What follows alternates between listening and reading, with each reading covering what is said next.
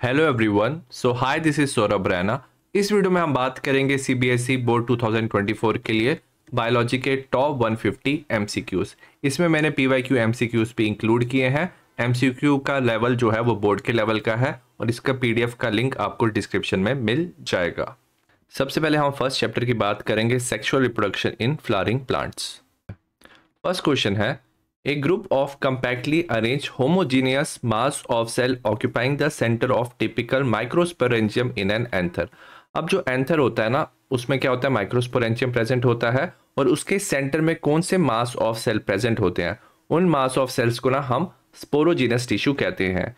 ये जो सेल्स होते हैं ना माइक्रोस्पोरोजेनेसिस से ये सेल माइक्रोस्पोर बनाते हैं, जो फर्दर क्या बनाते हैं? पोलन ग्रेन बनाते हैं। क्वेश्चन नंबर सेकंड है the figure of the developmental stage of microspore into mature pollen grain हमें दिया हुआ है। ठीक है? हमें फिगर में वन टू थ्री फोर बताना है। तो याद रखना, जब क्या होता है? माइक्रोस्पोर होता है, वो पोलन ग्रेन बनाता है। इसमें याद रखना, एक क्या आ जाता है? यहाँ पे वैक्यूल आ जाता है। ठीक है? यहाँ पे वैक्यूल आ गया और ए एसिमेट्रिक स्पिंडल फाइबर आता है, जिसकी वजह से ए एसिमेट्रिक डिवीज़न होती है। ठीक है? यहाँ पे जो नंबर वन है, ये स्मॉल सेल होता है, इसे हम जनरेटिव सेल कहते हैं। और बड़े वाले को हम वेजिटेटिव सेल कहते हैं। वेजिटेटिव सेल में जनरेटिव सेल फ्लोट करता है। तो फ़र्स्ट हमारा क्या होगा? Generative cell second vegetative cell होगा।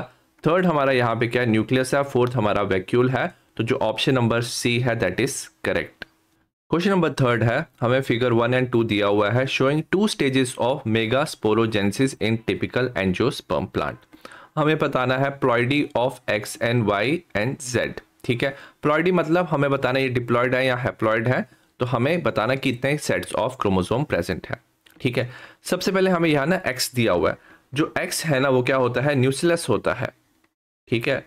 ये न्यूसलेस है आउटर मोस्ट प्रेजेंट है, और ये याद रखना क्या होता है? डिप्लॉयड होता है। उसके अंदर क्या होता है? जो सेल है ना, वो क्या हुआ है? डिवाइड हुआ है। तो इसके अंदर याद रखना जो सेल होता है ना, जो डिवाइड करता है, इसे हम बोलते हैं मेगास्पोर मदर सेल ठीक है? ये जो मेगास्पोर मदर सेल है ना, ये क्या होता है? डिप्लॉयड होता है और ये जब ये डिवाइड करता है ना तो मियोसिस फ़र्स्ट से ना, ठीक है?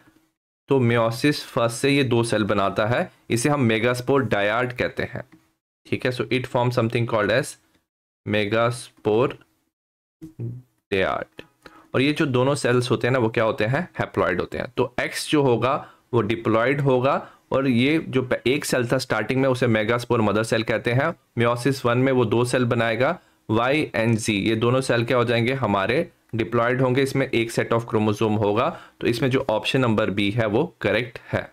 क्वेश्चन नंबर फोर है which one of the following is not found in a female gametophyte of an angiosperm female gametophyte में याद रखना जर्म्स जर्म पोर जो है, वो प्रेजेंट नहीं होता, क्योंकि जर्म पोर जो है, वो किसमें प्रेजेंट होता है? पोलन ग्रेन में। ठीक है? वेयर एज जो सिनेर्जिट्स है फिलीफॉर्म एपरेटर सेंट्रल सेल ये सारे किसमें प्रेजेंट होते हैं? फीमेल गैमिटोफाइड में तो इसका ऑप्शन नंबर ए करेक्ट है। क्वेश्चन नंबर फाइव है select the plant species where emasculation is not required for artificial hybridization experiment अब इमेस्कुलेशन में क्या होता है? जो मेल पार्ट है ना, उसको हम रिमूव करते हैं। और मोस्टली ये किसके लिए होता है? बायसेक्सुअल फ्लावर्स के लिए होता है। अब अगर हम बायसेक्सुअल फ्लावर्स की बात करें इसमें क्या है? जो कैस्टर है, ठीक है, कैस्टर है, जो मेज है और वीट है, वो क्या है? बायसेक्सुअल फ्लावर है। तो इसमें हमें क्या करना होता है? मेल पार्ट को रिमूव करते हैं। वेरा जो पपाया है ना, वो याद रखना क्या है? एक यूनिसेक्सुअल फ्लावर है, ठीक है? तो इसको अगर आपके पास क्या है? फीमेल प्लांट है, ठीक है? अगर इसके आपके पास क्या फीमेल प्लांट है और वो क्या है? यूनिसेक्सुअल है तो इसमें इमेस्कुलेशन की कोई ज़रूरत नहीं होती तो option number C is correct question number six है which of the given statements are correct with respect to pollination in Vallisneria जो वेलिसन एरिया है पॉलिनेशन ना इसमें क्या होती है? वाटर में होती है। सबसे पहला इसमें हमें बताना है कौन सी स्टेटमेंट करेक्ट है। फ़र्स्ट स्टेटमेंट है pollen grain are light and non sticky तो ये रॉन्ग है, क्योंकि ये विंड पॉलिनेशन में होता है। सेकेंड है female flower reach the surface of water by long stalk ये करेक्ट है। जो फीमेल फ्लावर है, वो सरफेस ऑफ़ वाटर में लॉन्ग स्टाक से पहुँचता है। Next pollen grain are carried passively by water current ये भी क्या है? करेक्ट स्टेटमेंट हमें दिया हुआ है। और फोर्थ है female flower remain submerged in water तो वो वाटर में समर्ज नहीं रहता है। तो वो वाटर के ऊपर रहता है, क्योंकि क्या होता है? वाटर के ऊपर वो लॉन्ग स्टाक से रीच करता है। तो इसमें option number second and third जो है, वो करेक्ट है। तो इसका ओवरऑल जो डी ऑप्शन है, क्योंकि सेकंड एंड थर्ड इसमें ऑप्शन दिया है तो D option is correct answer question number seven है self pollination is fully ensured if self pollination fully ensured कब होता है? First flower is bisexual bisexual flower होने पे भी ना क्रॉस पॉलिनेशन हो सकता है। The style is longer than the filament. तब भी क्या हो सकता है? क्रॉस पॉलिनेशन हो सकता है।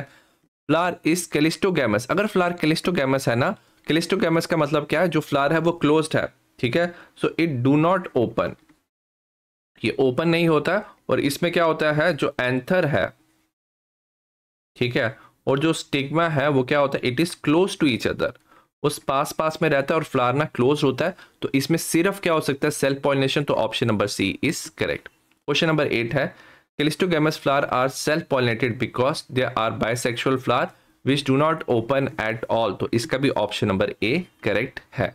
क्वेश्चन नंबर नाइन है the given figure of an egg apparatus of an angiosperm egg apparatus का हमें फिगर दिया है. Show the entry of pollen tube for release of two male gamete तो पोलन ट्यूब की यहाँ पे एंट्री शो की है, दो मेल गैमिट यहाँ पे रिलीज़ हुए हैं। Which of the two from X Y Z the two male gamete fuse with तो जो मेल गैमिट है वो एक्स वाई और जी में किसके साथ वो फ्यूज करेंगे, ये हमें बताना है। सबसे पहले अगर हम बात करें एक्स क्या होता है एक्स याद रखना क्या है, एक एग है। ठीक है? वेरस वाई क्या, अगर आप देखो दो हैं तो ये दो क्या है पोलर न्यूक्लियाई है। वेरस अगर आप जेड की बात करोगे, ये क्या है? सेनर्जिट है। ठीक है? अब ये जो मेल गैमिट है ना सेनर्जिट के थ्रू मूव करते हैं और ये क्या करेंगे? जो एक मेल गैमिट है, वो क्या करता है? एग के साथ फ्यूज करता है। एग के साथ फ्यूज करके ना, वो क्या बनाता है? साइगोड बनाता है।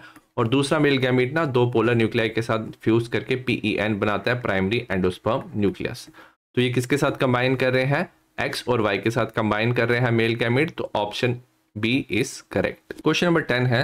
Select the correct statement with respect to development of endosperm in typical angiosperm. सबसे पहले दिया है, हमें बताना है कि जो डेवलपमेंट ऑफ़ एंडोस्पर्म है, वो कैसे होता है? Embryo development precede endosperm development ये गलत है। पहले एंडोस्पर्म बनता है, उसके बाद एम्ब्रियो की डेवलपमेंट होती है तो ये गलत इन्होंने दिया हुआ है। सेकंड है endosperm cell divide repeatedly to form a triploid endosperm तो ये करेक्ट है। जो एंडोस्पर्म के सेल्स होते हैं, वो क्या होते हैं? ट्रिप्लॉइड होते हैं थ्री एन होते हैं। और वो डिवाइड करके ट्रिप्लाइड एंडोस्पर्म बनाते हैं। थर्ड स्टेटमेंट दिया है एंडोस्पर्म टिश्यू है scanty reserve of food material गलत है, क्योंकि इसमें स्कैंसिटी मतलब कम नहीं होते, इसमें ज़्यादा होते हैं तो they have abundant reserve of तो ये स्टेटमेंट गलत है। फोर्थ स्टेटमेंट क्या है? जो प्राइमरी एंडोस्पर्म न्यूक्लियस है undergo successive division to form free nuclear endosperm तो ये भी करेक्ट है। जो एंडोस्पर्म न्यूक्लियस होते हैं ना, वो डिवाइड करते हैं सिर्फ़ न्यूक्लियस ही डिवाइड करता है, उसे फ्री न्यूक्लियर एंडोस्पर्म कहते हैं। जो बनता है तो एक करेक्ट है। तो अगर हम बात करेंगे second and fourth option correct है? तो ऑप्शन नंबर डी जिसमें सेकंड एंड फोर्थ है that is correct answer question number eleven है। Select the option that show correctly identified U X Y Z in the developing dicot embryo सबसे पहले जो x है, सबसे ऊपर वाला पोर्शन है, वो क्या रिप्रेजेंट करता है? वो सस्पेंसर सेल्स रिप्रेजेंट करता है। ठीक है? जो हमारा जेड है, ये क्या रिप्रेजेंट करता है? ये रिप्रेजेंट करता है रेडिकल जो रूट सिस्टम बनाता है। अब ये जो वाई है, ये दो होते हैं, क्योंकि डाइकॉट है तो ये कॉटिडिडन रिप्रेजेंट करता है। अगर यू की बात करेंगे यू क्या रिप्रेजेंट करता है? ये प्लीम्यूल रिप्रेजेंट करता है, जो बाद में शूट सिस्टम बनाता है। तो इलेवंथ का जो ऑप्शन नंबर सी है that is correct answer question number twelve है match the correct structure in column one with the fruit in the column two in the given chart अब याद रखना पेरिस्पर्म क्या होता है? जब न्यूसलेसना क्या होता है? सीड में प्रेजेंट होता है। जब सीड बनता है, उसमें स्टिल क्या होता है? न्यूसलेस प्रेजेंट होता है तो उसे पेरिस्पर्म कहते हैं। तो इसका आंसर है ब्लैक पेपर में ये होता है। अब याद रखना, जो स्ट्रॉबेरी है एक्चुअल में वो क्या होता है? थैलमस से बना होता है। इसे हम फॉल्स फ्रूट भी कहते हैं। तो थैलमस जो होता है, वो स्ट्रॉबेरी होता है। पेरिकाप जो होता है, वो क्या होता है? कवरिंग ऑफ़ द फ्रूट जो मैंगो है, उसका फ्लैशी जो पार्ट है, वो पेरिकाप होता है। और याद रखना मेज में याद रखना एंडोस्पर्म प्रेजेंट होता है। इसे हम एल्ब्यूमिनस सीड भी कहते हैं। तो इसका जो ऑप्शन है, अगर हम बात करें ट्वेल्थ का ऑप्शन नंबर जो बी है that is correct answer question number thirteen है endosperm is completely consume by the developing embryo in याद रखना, कुछ जो प्लांट्स की सीड बनते हैं ना तो उसमें एंडोस्पर्म पूरा कंज्यूम हो जाता है। इसे हम नॉन एल्ब्यूमिनस और एक्स एल्ब्यूमिनस सीड भी कहते हैं। इसका जो एग्ज़ाम्पल है, वो है groundnut and pea option number इसमें सी जो है, वो करेक्ट है। क्वेश्चन नंबर फोर्टीन की बात करेंगे। The floral part that develop into fruit in strawberry अभी हमने पढ़ा था, जो स्ट्रॉबेरी में पार्ट फ्रूट बनाता है, वो थैलमस होता है। इसे हम फॉल्स फ्रूट भी कहते हैं। क्वेश्चन नंबर फिफ्टीन है।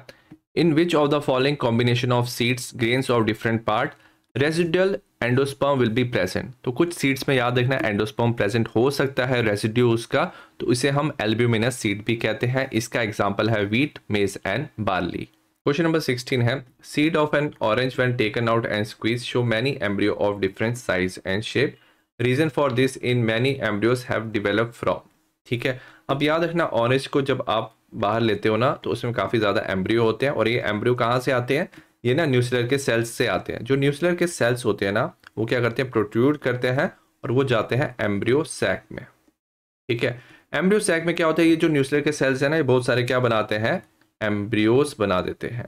ठीक है? तो बहुत सारे एम्ब्रियो बन जाते हैं और इसे हम क्या बोलते हैं पॉली एम्ब्रियोनी ठीक है? इसे हम पॉली एम्ब्रियोनी कहते हैं। तो इसका ऑप्शन नंबर सी करेक्ट है कि न्यूक्लियर के सेल डिवाइड होते हैं और डेवलप होते हैं एम्ब्रियोस में।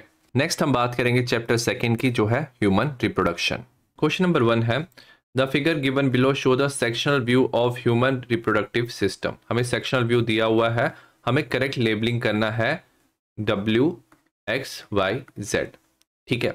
सबसे पहले अगर हम बात करेंगे ना, ये जो एक्स होता है, ये फेलोपियन ट्यूब का कौन सा रीजन होता है? ये एम्पुला रीजन होता है। ठीक है? अगर हम वाई की बात करें वाई क्या होता है? यहाँ पे सर्विक्स होता है। ठीक है? अगर हम बात करें जेड की तो ये यूट्रस का आउटर वाला पोर्शन होता है, इसे हम क्या बोलते हैं? पेरीमेट्रियम कहते हैं।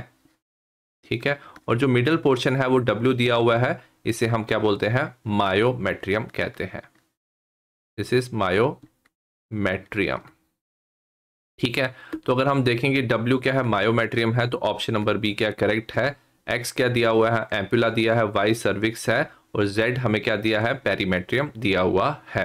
क्वेश्चन नंबर सेकंड है। In human sperm numerous mitochondria are present in the region known as तो जो माइटोकॉन्ड्रिया है, वो स्पर्म में प्रेजेंट होते हैं और वो हेल्प करते हैं मूवमेंट ऑफ़ स्पर्म में कहाँ पे? फीमेल रिप्रोडक्टिव ट्रैक में। और ये प्रेजेंट होता है मिडल पीस में।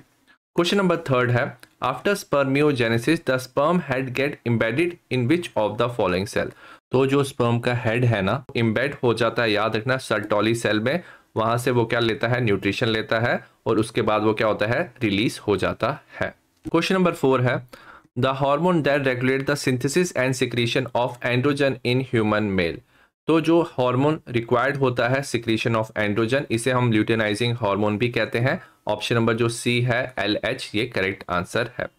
क्वेश्चन नंबर फाइव है which of the following hormones are active during the ovulatory phase of menstrual cycle in normal human female तो याद रखना मेंस्ट्रुअल साइकिल में क्या होता है? जो क्या होता है? पिचुट्री होता है ना, वो दो हार्मोन रिलीज़ करता है F S H and L H ठीक है? तो ये ovulatory phase of menstrual cycle में F S H and L H जो है, वो एक्टिव होते हैं, ये दो हॉर्मोन्स क्वेश्चन नंबर सिक्स है the source organ and function of hormone F S H are अब याद रखना, जो एफ़ एस एच है ना, वो पिचुट्री से रिलीज़ होता है और ये रिलीज़ होता है एंटीरियर पिचुट्री से, ठीक है? तो एंटीरियर पिचुट्री से क्या होता है? रिलीज़ होता है हार्मोन और इसका फ़ंक्शन क्या होता है? फॉलिकुलर फॉर्मेशन जो फॉलिक्यूल है, उसकी डिवेलपमेंट में ये क्या करता है? हेल्प करता है, ठीक है? तो जो फॉलिकुलर डिवेलपमेंट है, उसमें एफएसएच हेल्प करता है और एज ए रिज़ल्ट जो फॉलिकल होता है ना, बाद में वो एस्ट्रोजन रिलीज़ करता है तो option number C is correct question number seven है the specific site for fertilisation in human female जो ह्यूमन फीमेल है फर्टिलाइजेशन फेलोपियन ट्यूब में होता है और उसका जो एम्पुलरी रीजन है एम्पुला वहाँ पे फर्टिलाइजेशन होता है। पुरानी बुक्स में एम्पुलरी इस्थमस जंक्शन दिया है but according to the new book हमारा एम्पुलरी रीजन दिया हुआ है। क्वेश्चन नंबर एट है during embryonic development the limb digit are formed in human foetus by the end of तो जो लिम्फ और जो डिजिट्स बनते हैं फिंगर्स बनते हैं, ये end of two months around two months के बाद क्या होता है? ऑफ़ प्रेगनेंसी के बाद बनते हैं। तो ऑप्शन नंबर डी करेक्ट है सिक्सटी डेज़ ऑफ़ प्रेगनेंसी के बाद limbs and digits are formed question number nine है which of the following are true in respect of chorionic villi in human हमें बताना है कौन सा ट्रू है। It appear after implantation of human embryo in the uterus तो chorionic villi जो है, वो इम्प्लांटेशन के पास दिखाई देता है इन द यूट्रस ठीक है? तो ये करेक्ट है। Second it become interdigitated with the cervical tissue अभी हमने पढ़ा, ये जो है, वो किसके साथ कंबाइन होता है? यूट्रस के साथ। तो इंटरडिजिटेड वो यूट्रस के साथ करता है, ना कि cervical tissue of female reproductive tract ये गलत है।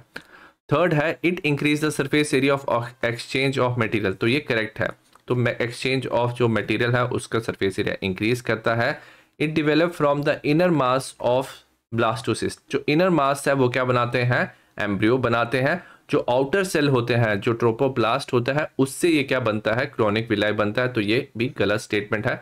तो first and third option is correct तो option number D is correct question number ten है एजर्शन है the perimetrium of uterus exhibit strong uterine contraction during child birth तो ये गलत है, क्योंकि चाइल्ड बर्थ के टाइम पे ना, जो मायोमेट्रियम है, वो क्या करता है? कॉन्ट्रैक्शन शो करता है तो एजर्शन हमें गलत दिया है। रीजन है oxytocin release from the maternal pituitary cause strong uterine contraction तो ये हमारा जो रीजन है, वो करेक्ट है, क्योंकि जो ऑक्सीटोसिन है ना, वो कॉन्ट्रैक्शन में हेल्प करता है और ये पिचुट्री ग्लैंड से रिलीज़ होता है। एजर्शन हमारा गलत है रीजन हमारा करेक्ट है तो option number D is correct answer question number eleven है the penetration of sperm in ovum is followed by तो जैसे ना स्पर्म ना एंटर करता है ना ओवम में तो याद रखना इसकी म्योसिस सेकंड क्या होती है? कंप्लीट होती है।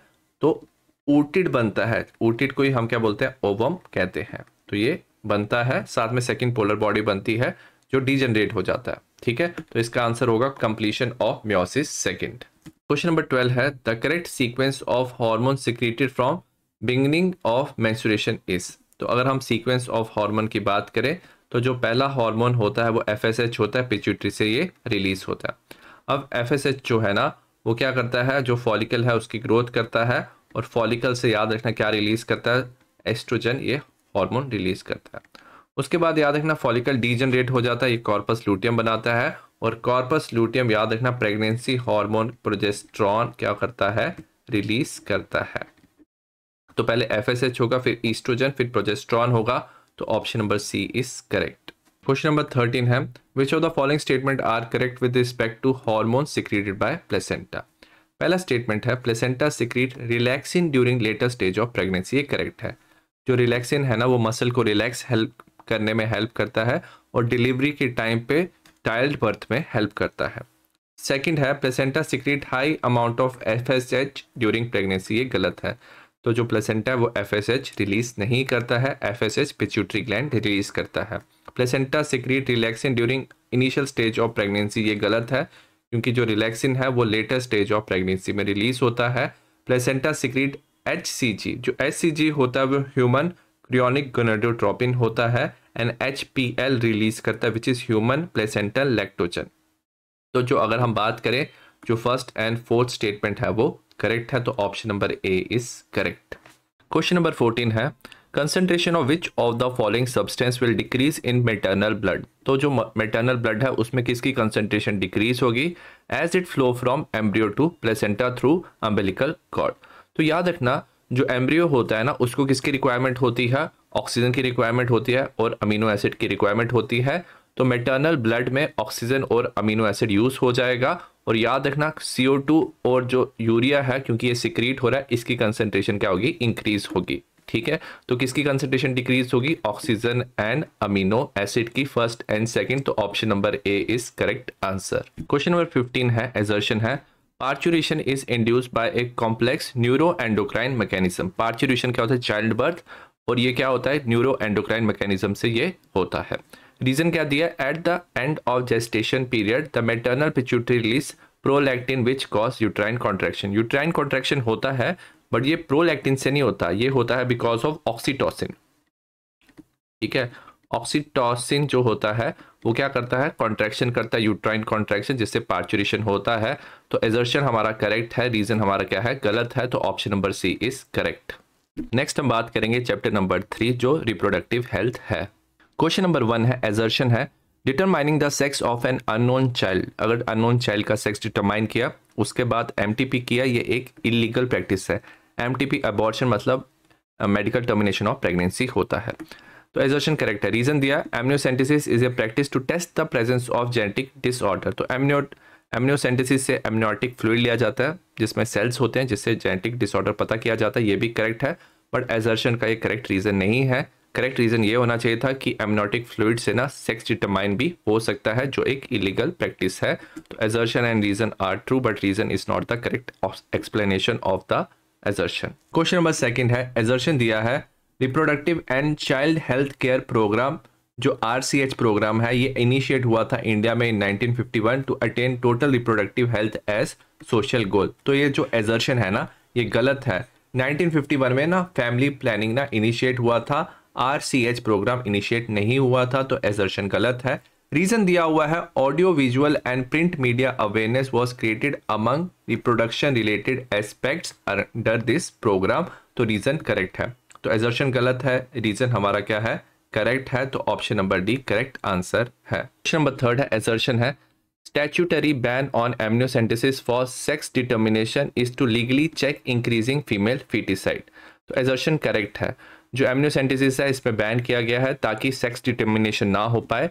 और जो फीमेल फिटिसाइड है वो कम हो पाए। रीजन है in amniocentesis some of the amniotic fluid that has the developing fetus is taken to analyze the chromosome in the fetal cell. ये भी करेक्ट रीजन है। बड़ी ये एग्जर्शन का करेक्ट एक्सप्लेनेशन नहीं है। करेक्ट एक्सप्लेनेशन होना चाहिए था जो एमनियोसेंटेसिस है, उसमें क्या हो सकता है? जो फीटस है, उसका सेक्स डिटरमाइन कर सकते हैं और उससे एम मतलब मेडिकल टर्मिनेशन ऑफ़ प्रेगनेंसी हो सकता है। तो ऑप्शन नंबर बी करेक्ट है. Both assertion and reason are true and reason is not the correct explanation of assertion question number four है. A human male decide to adopt a surgical method for contraception, identify the point in the diagram where a cut would be made and tied. अगर हम diagram की बात करें कहाँ पे cut होना चाहिए और वहाँ पे उसे टाई किया जाएगा तो ये क्यू होगा। क्यू याद रखना क्या होता है? वास डेफरेंस होता है। ठीक है? तो अगर इसको कट और टाई किया जाए ना तो स्पर्म यहाँ पे ट्रेवल नहीं होंगे। इसे वेसेक्टॉमी कहते हैं।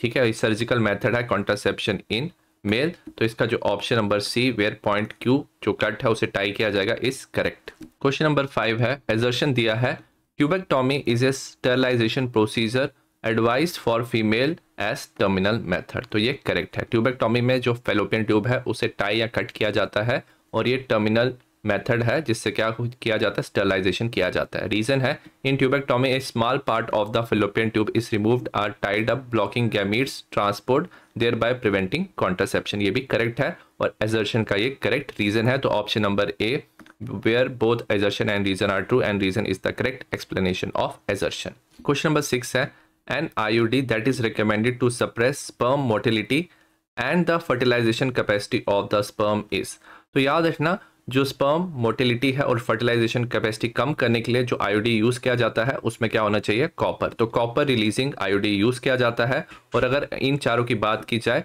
इसमें ना जो मल्टी लोड 375 है, ये कॉपर रिलीजिंग आयोडी है तो ये करेक्ट आंसर है.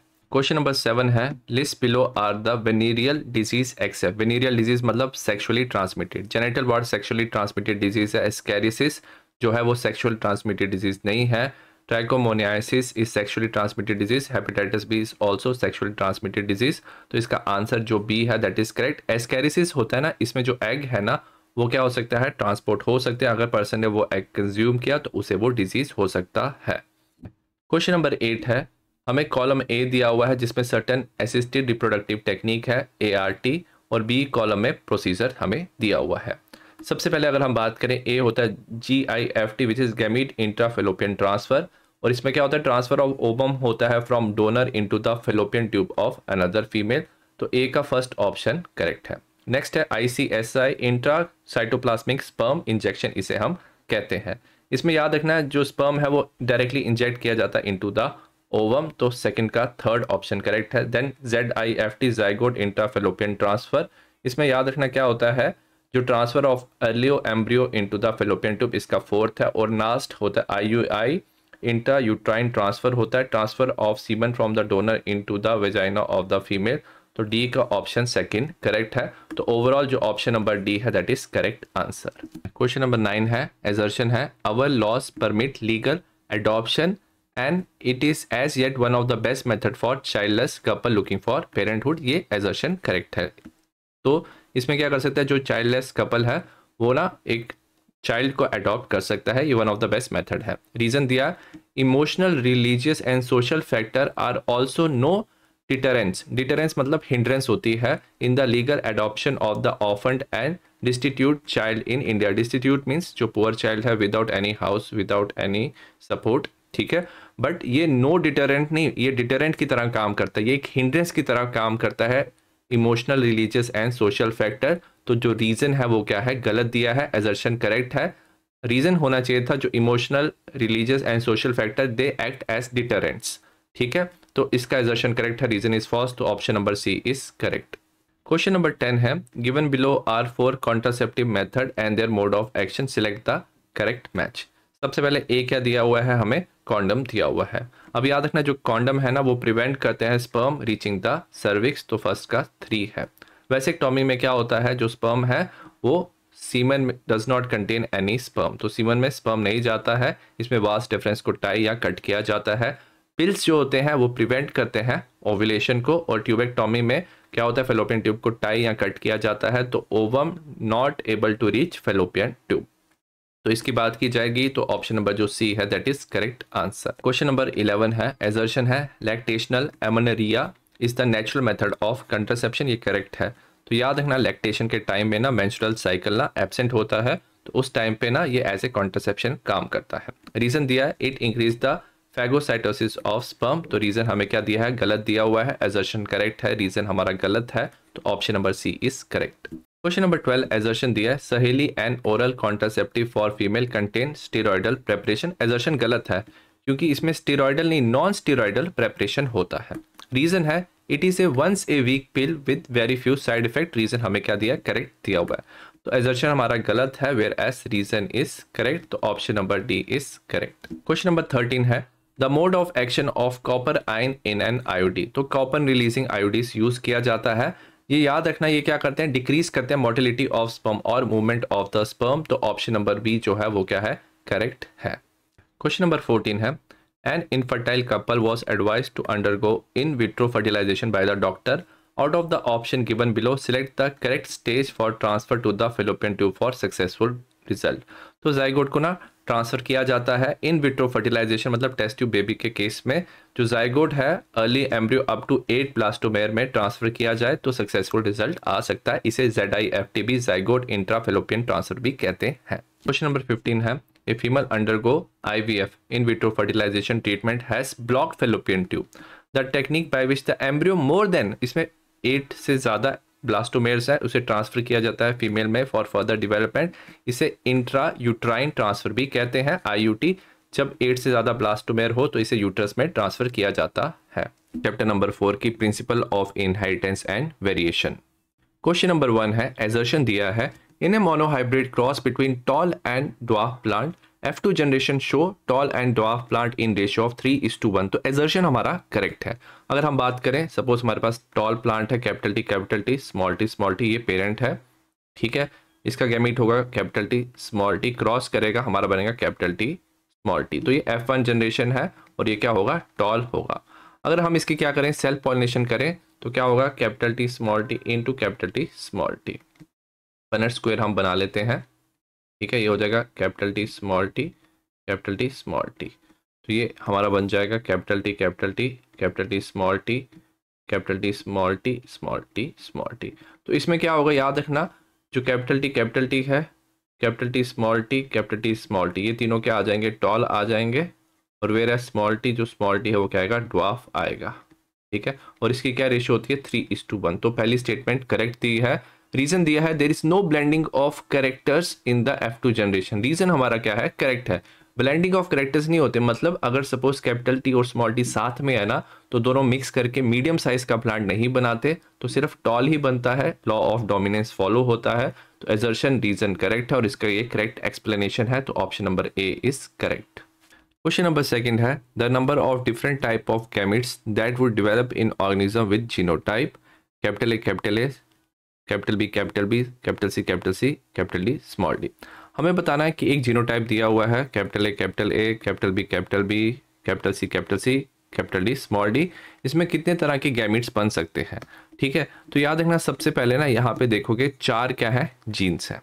ठीक है? तो जब ये गैमिट्स बनाएँगे ना तो एक में आ सकता है capital A capital B capital C capital D तो ये एक तरह का गैमिट बन सकता है और दूसरा बन सकता है capital A capital B capital C and small D ठीक है? तो इसमें सिर्फ़ दो ही तरह के गैमिट्स बन सकते हैं तो option number B is correct question number three है in Pisum sativum the pod colour में बी ग्रीन जो ग्रीन है कैपिटल जी से रिप्रेजेंट करते हैं तो ये क्या है? डोमिनेंट है। और येलो क्या है? स्मॉल जी से, ये क्या है? रिसेसिव है, ये पॉड का colour what percentage of the offspring with the green pod colour trait would be obtained in the cross of capital G small G capital G small G ठीक है, अगर हम क्रॉस करते हैं capital G small G capital G small G का अगर आप cross करते हो ना तो इसमें क्या बन जाएगा? गैमीट आ जाएँगे, एक कैपिटल जी आएगा, एक स्मॉल जी आएगा कैपिटल जी स्मॉल जी ठीक है, अगर आप इसका क्रॉस करोगे तो हमारा फाइनल बन जाएगा capital G capital G capital G small G capital G small G small G small G अब कैपिटल जी जो है वो डोमिनेंट है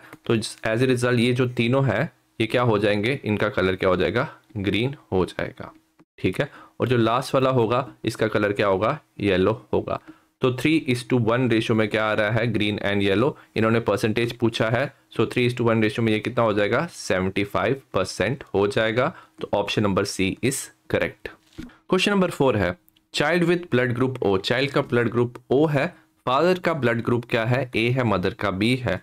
What would be the possible genotype of the parents and the child choose the correct option अगर हम बात करें ना कि अगर फादर मदर ए बी है और चाइल्ड ओ है तो याद रखना फादर और मदर क्या होंगे? हिट्रोजाइगस पेरेंट होंगे। मतलब सपोज़ फादर क्या हो सकता है? कैपिटल आई ए स्मॉल आई और मदर हो सकती है capital I B small I ठीक है? अगर गैमिट्स की बात करें, इसमें आ जाएगा कैपिटल ए स्मॉल आई दो गैमिट्स बन जाएँगे इसमें। Capital I B small I ठीक है तो इसमें ना चारों तरह के ब्लड ग्रुप बन सकते हैं। ठीक है तो एक ये बन सकता है, ठीक है नेक्स्ट बन सकता है capital I A small I capital I B small I and small I small I ठीक है तो अगर पेरेंट्स हिट्रोजाइगस है, एक ए है, एक बी है तो या पहले वाला हो जाएगा blood group A B second वाला हो जाएगा ए थर्ड वाला बी और लास्ट वाला क्या हो जाएगा? Blood group O small I small I तो इसका अगर हम बात करेंगे ऑप्शन नंबर जो हमारा सेकंड है, वो करेक्ट है। जो चाइल्ड होगा, जिसका ब्लड ग्रुप ओ है, वो स्मॉल आई स्मॉल आई होगा। और पेरेंट क्या क्या होगा? Capital I A small I capital I B small I तो option number B is correct question number five है given below are the pair of contrasting trait in Pisum sativum as studied by Mendel select the incorrect mention option from the table given below ठीक है? हमें incorrect option बताना है। Flower colour जो dominant है, वो violet होता है रिसेसिव वाइट ये करेक्ट है। पॉड शेप इन्फ्लेटेड डोमिनेंट होता है रिसेसिव कंस्ट्रिक्टेड होता है, ये भी करेक्ट है। स्टेम हाइट जो टॉल है डोमिनेंट होता है रिसेसिव होता है डुआ वेर जो फ्लावर पोजिशन होता है ना, जो डोमिनेंट होता है, वो याद रखना क्या होता है? एक्सियल होता है। ठीक है? एक्सियल पोजीशन क्या होता है? डोमिनेंट होता है। और टर्मिनल पोजीशन क्या होता है? रिसेसिव होता है। तो इसका option number four is correct question number six है how many type of gametes can be produce in a diploid organism which is heterozygous for three loci three loci का मतलब क्या है? सपोज़ हमारे पास यहाँ पे क्या है? एक लोकाई है कैपिटल ए यहाँ पे कैपिटल बी यहाँ पे कैपिटल सी है, यहाँ पे क्या है? Small A small B small C है।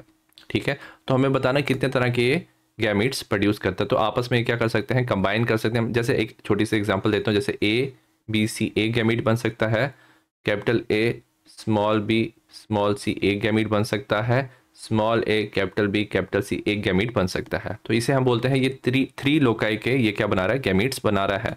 तो जब ये लोकाई वाला दिया है ना तो इसके लिए फॉर्मूला यूज़ करना है। नंबर ऑफ़ जो गैमिट्स फॉर्म्ड होते हैं नंबर ऑफ़ गैमिट्स फॉर्म ये होते हैं two raise to power n n represent करता है number of heterozygous loci. और यहाँ पे नंबर क्या दिया है? थ्री दिया है। So two raise to power three क्या होगा? एट होगा। तो इसका आंसर जो है second option is correct question number seven है। Polydactyly six fingered hand six fingers आ जाती हैंड में। ये जेनेटिक कंडीशन है। ड्यू टू डोमिनेंट एलील अगर dominant allele capital P present है ओवर द स्मॉल पी तो अगर कैपिटल पी एक भी प्रेजेंट है तो ये कंडीशन हो जाती है। इफ़ सिक्स फिंगर्ड वुमेन तो वुमेन सिक्स फिंगर थी उसकी मतलब उसमें कैपिटल पी होना चाहिए फाइव फिंगर्ड मैन उनका जो चाइल्ड है, उसकी भी फाइव फिंगर्स है। हमें जीनोटाइप बताना है पेरेंट्स का। तो क्या बताया इन्होंने? एक मदर है, जिसको कंडीशन है, जिसकी सिक्स फिंगर्स है। फादर है, जिसे सिक्स फिंगर्स नहीं है, पाँच फिंगर्स है, और चाइल्ड की भी फाइव फिंगर्स है। ठीक है?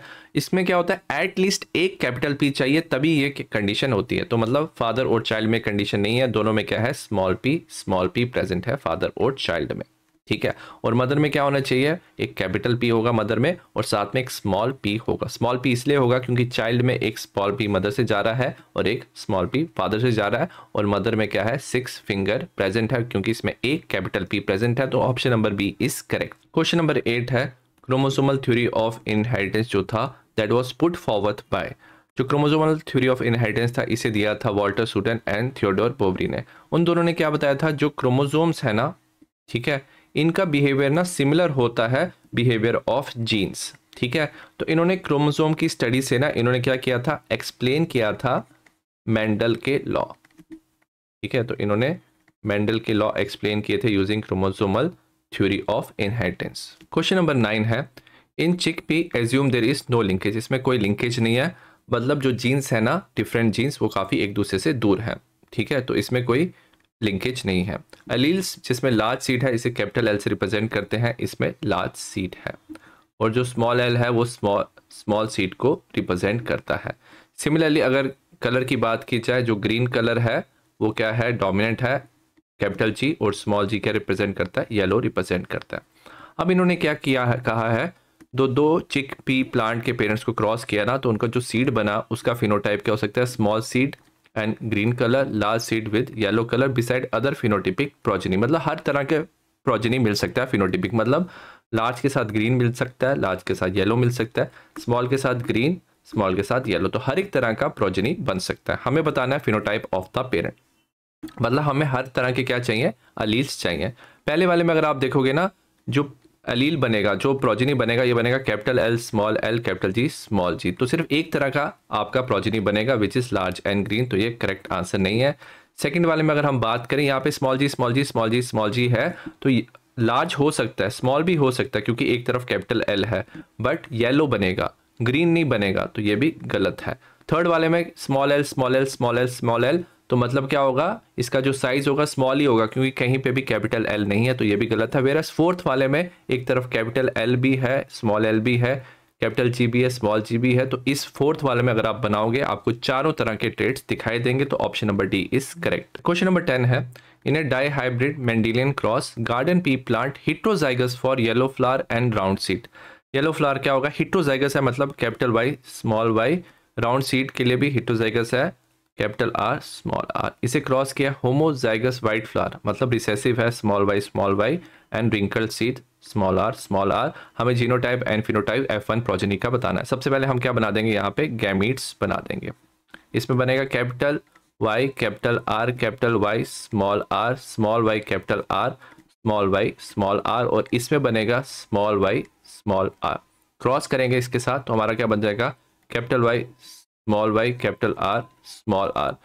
ठीक है, ये एक बन जाएगा, सेकंड वाले को आप करोगे, इसके साथ क्रॉस करोगे तो capital Y, small Y, small R, small R, small Y small Y, capital R, small R तो small Y small Y, R R. तो अगर आप जीनोटिपिक और फिनोटिपिक रेशियो देखोगे तो दोनों क्या आ रही है, one is to, one is to, one is to, one आ रहा है तो इसका option number C is correct. Question number eleven है, Morgan hybridize Drosophila white eyed yellow bodied female को उसने क्रॉस किया था red eyed brown bodied male को wild type intercross their F one progeny he observe the two genes इसने क्या देखा? जो दो जीन्स है ना, एक कलर ऑफ़ द आई और एक बॉडी का कलर है, ये जो दो जीन्स है ना, ये सेग्रीगेट नहीं हो रही है इंडिपेंडेंट ऑफ़ ईच अदर तो इसका ऑप्शन नंबर ए करेक्ट है. They do not segregate independent of each other क्योंकि ये जो दोनों जीन्स थी ना, ये काफ़ी पास थी. इन दोनों में क्या हो रहा था?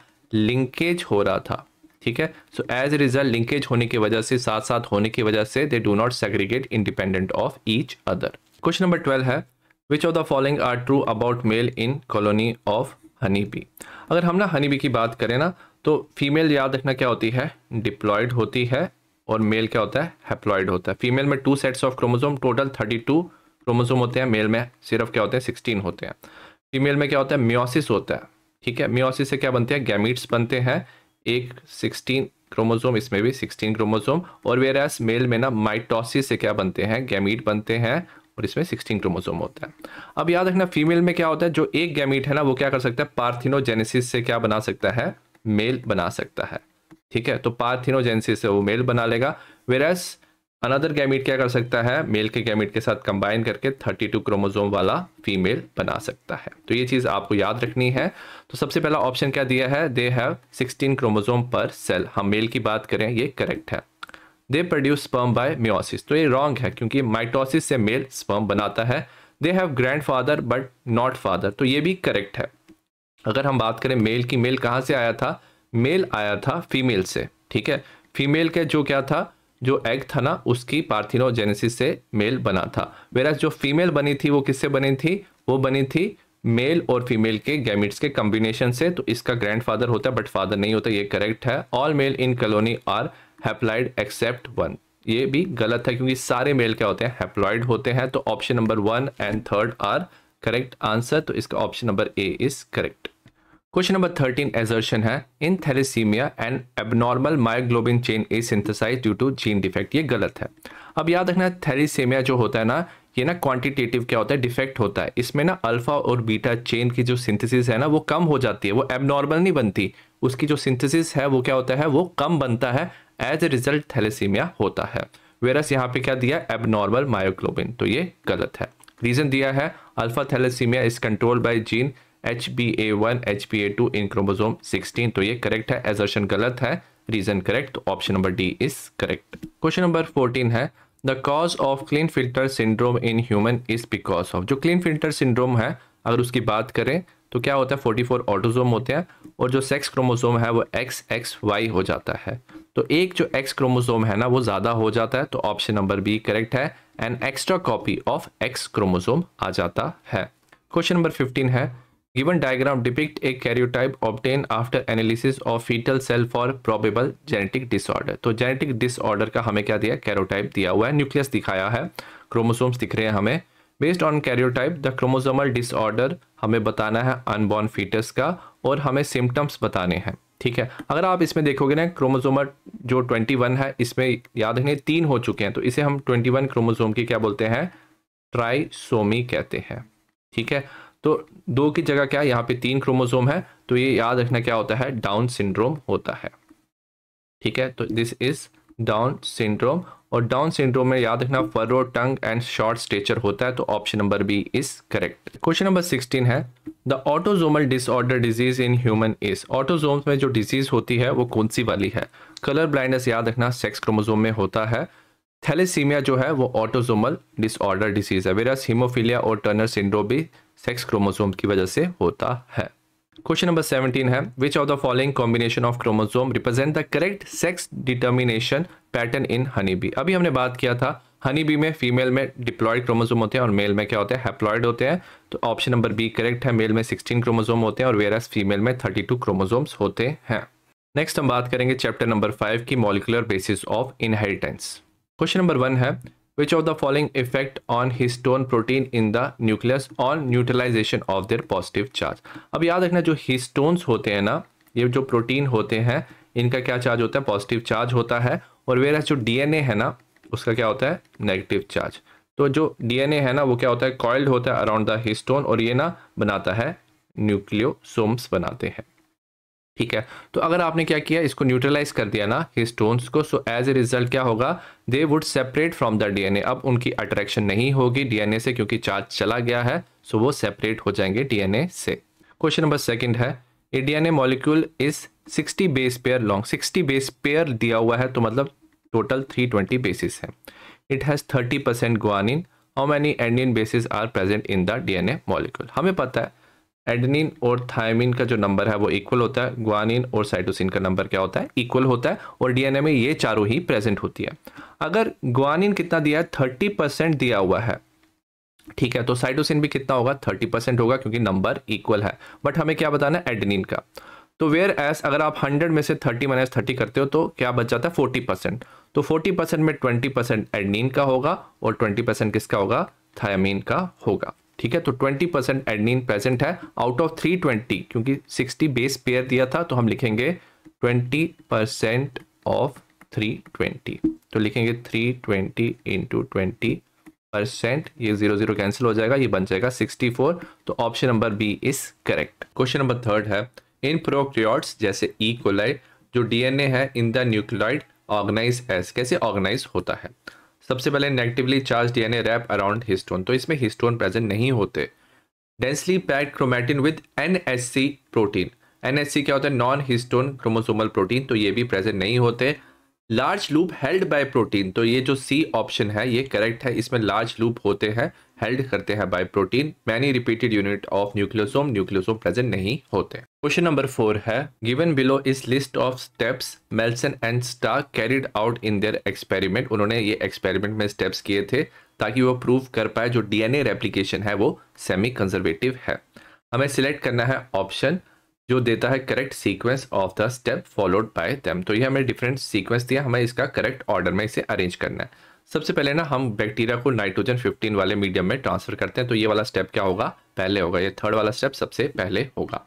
उसके बाद हम क्या करते हैं? जो बैक्टीरिया है उसमें नाइट्रोजन 15 डीएनए आ जाता है, क्योंकि नाइट्रोजन 15 मीडियम में उसे ग्रो किया था तो उसके बाद फोर्थ वाला आएगा। उसके बाद हम बैक्टीरिया को ट्रांसफ़र करते हैं नाइट्रोजन 14 वाले मीडियम में। और हम सैंपल लेते हैं एवरी टू मिनट्स उसके बाद फ़र्स्ट स्टेप आ जाएगा। फ़र्स्ट स्टेप के बाद ना सेकंड स्टेप आएगा। ऑल बैक्टीरिया में क्या आ जाएगा? हाइब्रिड डीएनए आ जाएगा मतलब एक नाइट्रोजन 14 और एक नाइट्रोजन 15 वाला डीएनए प्रेजेंट होगा। और लास्ट में स्टेप नंबर क्या आ जाएगा? फाइव हो जाएगा। तो बैक्टीरिया में दो तरह के डीएनए हो सकते हैं। या तो सिर्फ़ नाइट्रोजन 14 वाला डीएनए होगा, क्योंकि नाइट्रोजन 14 वाले मीडियम में ग्रो कर रहा है। नहीं तो हाइब्रिड डीएनए होगा, जिसमें 14 और 15 प्रेजेंट है। 15 मतलब पेरेंट का वो स्ट्रैंड आया हुआ है। तो ये जो सीक्वेंस है, ये सी ऑप्शन में दिया हुआ है तो option number C is correct question number five की बात करेंगे। Meselson and Stahl carried out centrifugation in C S C L to density gradient to separate इसने किस चीज़ को सेपरेट किया था? इसने नॉर्मल डीएनए मतलब जिसमें दोनों नाइट्रोजन 14 था, उसे सेपरेट किया था नाइट्रोजन 15 वाले डीएनए से। क्वेश्चन नंबर सिक्स है। A region of coding strand of DNA has the following nucleotide sequence दिया फाइव प्राइम से थ्री प्राइम की हमें सीक्वेंस दी है। कोडिंग स्टैंड की दी है। हमें ना एम बताना जो ट्रांसक्राइब होगा। अब जो कोडिंग स्टैंड है ना, और एम है, उनकी सीक्वेंस ऑलमोस्ट सेम होता है। बट डिफरेंस क्या होता है? जो थायामीन है ना, ठीक है, जो कोडिंग में होता है, वो रिप्लेस हो जाता है यूरासिल से। और बाकी सारी चीज़ें क्या होती है? सेम होती है। तो वो भी क्या होगा? फाइव प्राइम से थ्री प्राइम होगा, ठीक है एमआरएनए और हम लिखेंगे टी की जगह हम यू लिख देंगे। बाकी चीज़ें क्या हो जाएँगी? सेम रहेंगी। ठीक है? तो अगर आप बात करेंगे ऑप्शन नंबर जो ए है that is correct answer question number seven है which one of the following statement describe the function of promoter in transcription unit याद रखना ट्रांसक्रिप्शन यूनिट में जो प्रमोटर है ना, वहाँ पे क्या होता है? ट्रांसक्रिप्शन शुरू होता है। सबसे पहले दिया signal of termination of polypeptide chain ये गलत है। सेकंड दिया serve as a sequence where the transcription will initiate तो जो बी ऑप्शन है, वो करेक्ट आंसर है। क्वेश्चन नंबर एट है in transcription unit in DNA one is located towards three prime end of the second strand it usually define the end of process of transcription हमें choose करना है correct one and second from the option given below ठीक है, अगर transcription unit की बात करें ना तो यहाँ पे क्या होता है, एक थ्री प्राइम से फाइव प्राइम होता है। इसे हम क्या बोलते हैं टेम्पलेट स्ट्रैंड कहते हैं। ठीक है, और एक होता है फाइव प्राइम से थ्री प्राइम जिसे हम कोडिंग स्ट्रैंड कहते हैं। अब इंपॉर्टेंट चीज़ क्या है? जो टेम्पलेट स्टैंड है, उसकी ट्रांसक्रिप्शन होती है और यहाँ पे क्या रीजन प्रेजेंट होता है? प्रमोटर रीजन प्रेजेंट होता है। ठीक है? और यहाँ पे क्या होता है? एंडिंग वाले पोर्शन में क्या होता है? टर्मिनेटर जहाँ पे टर्मिनेशन होता है प्रोसेस का ऑफ़ ट्रांसक्रिप्शन अब बट हम जो पढ़ते हैं ना, वो on the basis of coding strand पढ़ते हैं। तो मतलब हम बोलते हैं फाइव प्राइम पे प्रमोटर है थ्री प्राइम पे टर्मिनेटर है। ठीक है तो यहाँ पे क्या दिया है इन्होंने? The in transcription unit the one is located at three prime end of two strand तो हम जब पढ़ते हैं ना तो हम हमेशा कोडिंग स्टैंड को पढ़ते हैं। तो three prime end of coding strand में क्या प्रेजेंट है? टर्मिनेटर रीजन प्रेजेंट है which define as end of process of transcription तो इसका ऑप्शन नंबर ए करेक्ट है terminator and coding strand question number nine है given below is heterogeneous RNA तो ये ना H N R N A होता है। ठीक है? During the eukaryotic transcription H N R N से ना याद रखना एम आर एन ए बनता है। अब जो H N R N A होता है ना, उसमें ना इंट्रॉन और एक्सॉन्स दोनों प्रेजेंट होते हैं तो इंट्रॉन्स को रिमूव करना होता है। तो यहाँ पे ये वाला जो पोर्शन दिया हुआ है, ये क्या है? इंट्रॉन है। तो स्प्लाइसोसोम्स क्या करते हैं? इंट्रॉन्स को क्या करते हैं? रिमूव करते हैं। और तो अगर हम काउंट करेंगे one two three four five six seven तो सेवन क्या है? इंट्रॉन्स प्रेजेंट है।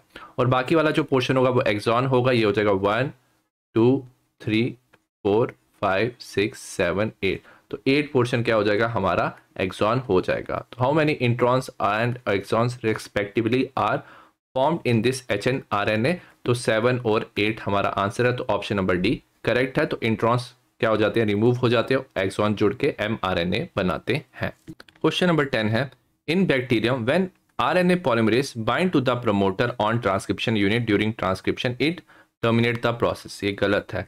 इट रिमूव्स इंट्रॉन तो ये इंट्रॉन्स को रिमूव नहीं करता इट इनिशिएट द प्रोसेस तो ऑप्शन नंबर सी करेक्ट है। तो याद रखना, जब आरएनए पॉलीमरेज ना प्रोमोटर को जुड़ता है तो ये ट्रांसक्रिप्शन शुरू करता है तो ये इनिशिएट करता है प्रोसेस को। क्वेश्चन नंबर इलेवन है given below is sequence of basis in M R N A of a bacterial cell हमें आइडेंटिफाई करना है amino acid that would be incorporated at codon position three तो third codon position पे कौन सा amino acid होगा, और codon position five में ड्यूरिंग प्रोसेस ऑफ़ ट्रांसलेशन कौन सा अमीनो एसिड होगा? तो ये हमें एमआरएनए की सीक्वेंस दी हुई है। तो हम थर्ड पोजीशन देखेंगे। ये आ गया A U C first position है A G G second position है थर्ड है यू यू यू और यू यू क्या होता है? ये कोड करता है फिनाइल एलानीन को, ठीक है? तो U U U will code for phenylalanine और अगर हम बात करें फिफ्थ नेक्स्ट हो जाएगा जी यू जी फोर्थ है और फिफ्थ हो जाएगा ए यू जी और ए यू जी किसके लिए कोड करता है? मिथ्योनिन के लिए कोड करता है। तो थर्ड और फिफ्थ पोजीशन पे फिनाइल एलानीन और मिथोनिन होगा तो option number A is correct question number twelve है when an amino acid is coded by more than one codon जब अमीनो एसिड को कोड किया जाता है मोर देन वन कोडॉन से, जो जेनेटिक कोड है, इसे हम क्या कहते हैं? याद रखना, जो जेनेटिक कोड है, उसे हम क्या बोलते हैं? ये डी है। तो एक अमीनो एसिड के लिए एक से ज़्यादा जेनेटिक कोड भी हो सकते हैं और इसे हम डी जनरेट कहते हैं। क्वेश्चन नंबर थर्टीन है। During elongation process of translation the peptide bond form between amino acid is catalyse by जो पेप्टाइड बॉन्ड है अमीनो एसिड के बीच में बनता है और इसे कैटेलाइज करता है ribosomal R N A question number fourteen है। Different type of R N A transcribe by R N A polymerase three in eukaryotes जो R N A polymerase three है, वो ट्रांसक्रिप्शन करता है टी आर एन ए का। Five S R R N A का और S N R N A which is small nuclear R N A question number fifteen है identify the correct labelling Q R S T for the lac operon E coli in the given below ठीक है? सबसे पहले अगर हम बात करेंगे ना, ये क्यू क्या है? ठीक है प्रोमोटर के साथ यहाँ पे रीजन प्रेजेंट होता है, इसे हम बोलते हैं रेगुलेटरी जीन ठीक है? रेगुलेटरी जीन होता है, इसे हम आई जीन भी कहते हैं in case of lac operon अब ये ना एक प्रोटीन प्रोड्यूस करता है, इस प्रोटीन को हम क्या कहते हैं, ये एक रिप्रेसर प्रोटीन होता है। ठीक है? ये एक रिप्रेसर प्रोटीन प्रोड्यूस करता है। नेक्स्ट यहाँ पे क्या है?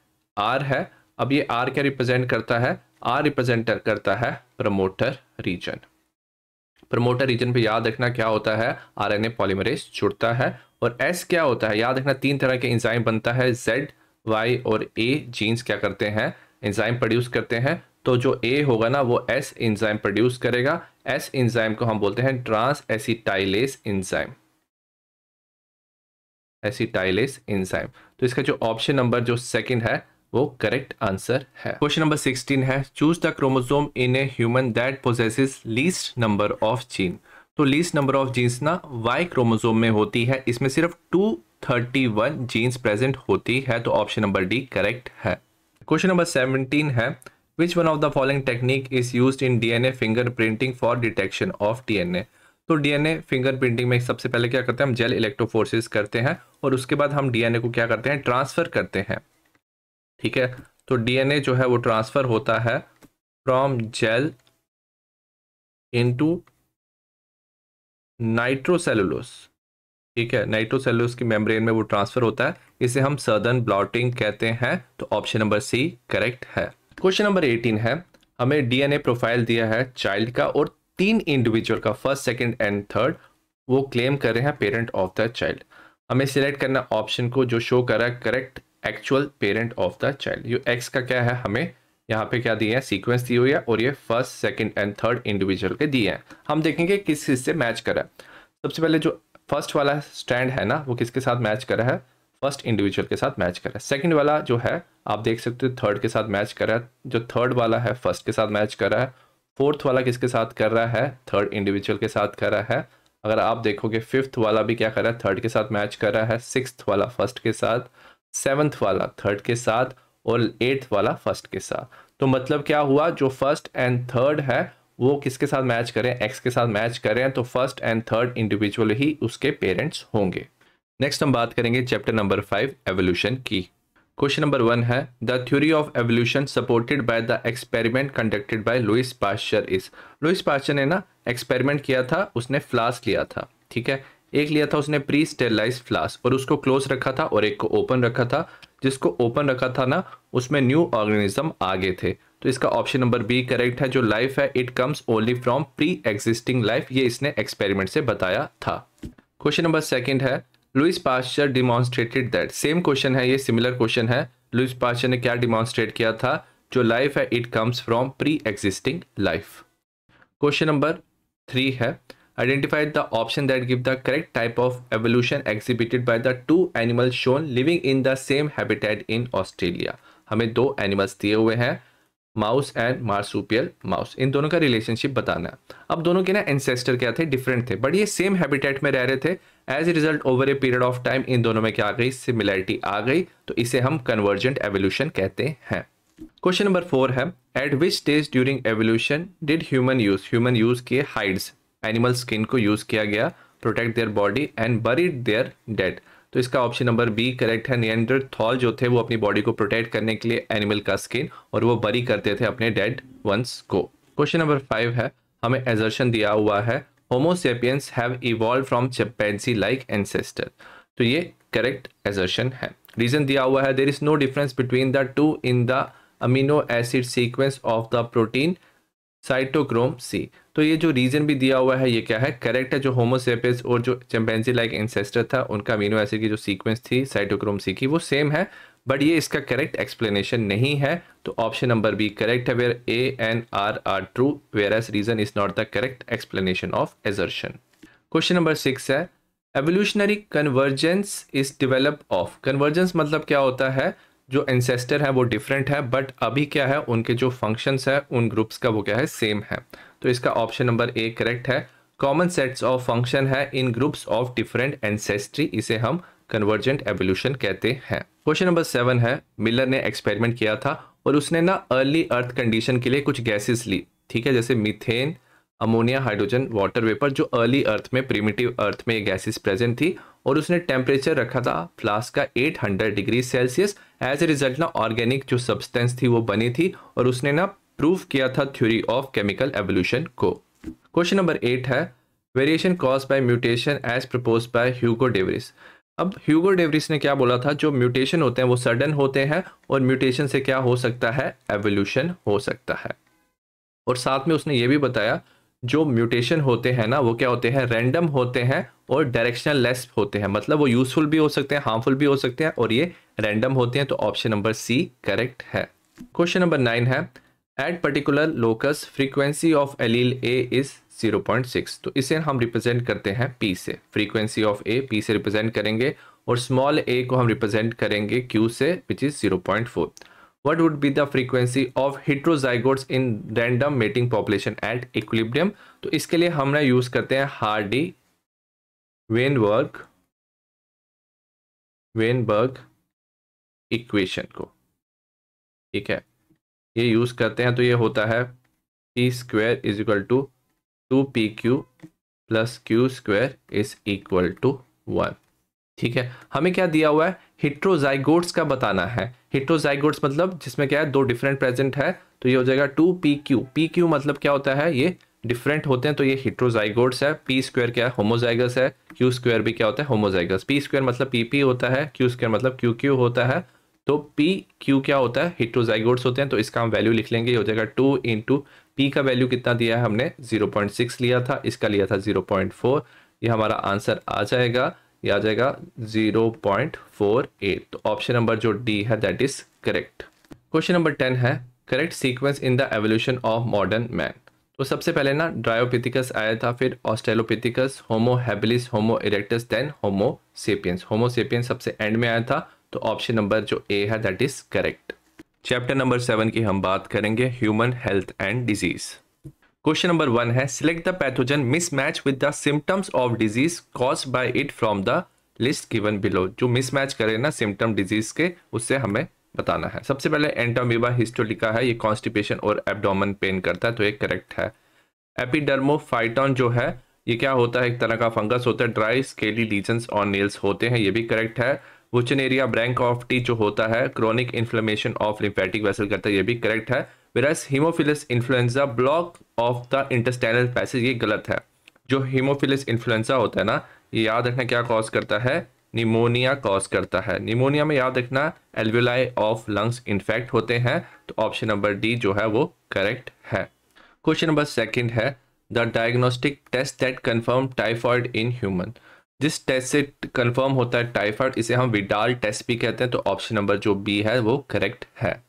क्वेश्चन नंबर थर्ड है select the option which is or incorrect statement with respect to T lymphocyte in human body हमें इनकरेक्ट स्टेटमेंट बताना है। सबसे पहले they are type of white blood cell तो एक करेक्ट स्टेटमेंट है। वाइट ब्लड सेल होते हैं T lymphocyte they are produce in bone bone marrow ये भी करेक्ट है।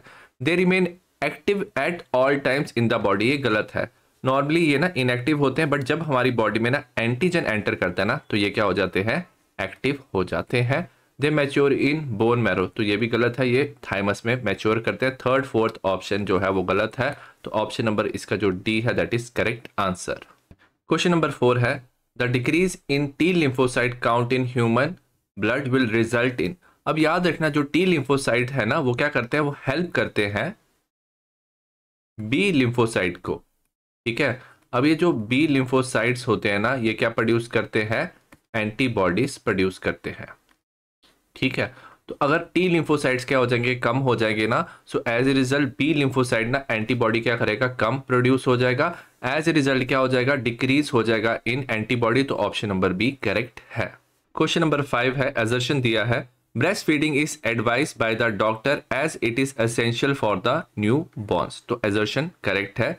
जो ब्रेस्ट फीडिंग है, वो डॉक्टर एडवाइस करता है फॉर न्यू बॉर्न रीजन दिया, जो क्लोस्ट्रम है secreted by mother during the initial days of lactation initial days of lactation में क्लोस्ट्रम सिक्रीट होता है, जो एक येलोइश फ्लूड होता है has abundant antibodies I G E I G G तो ये गलत है।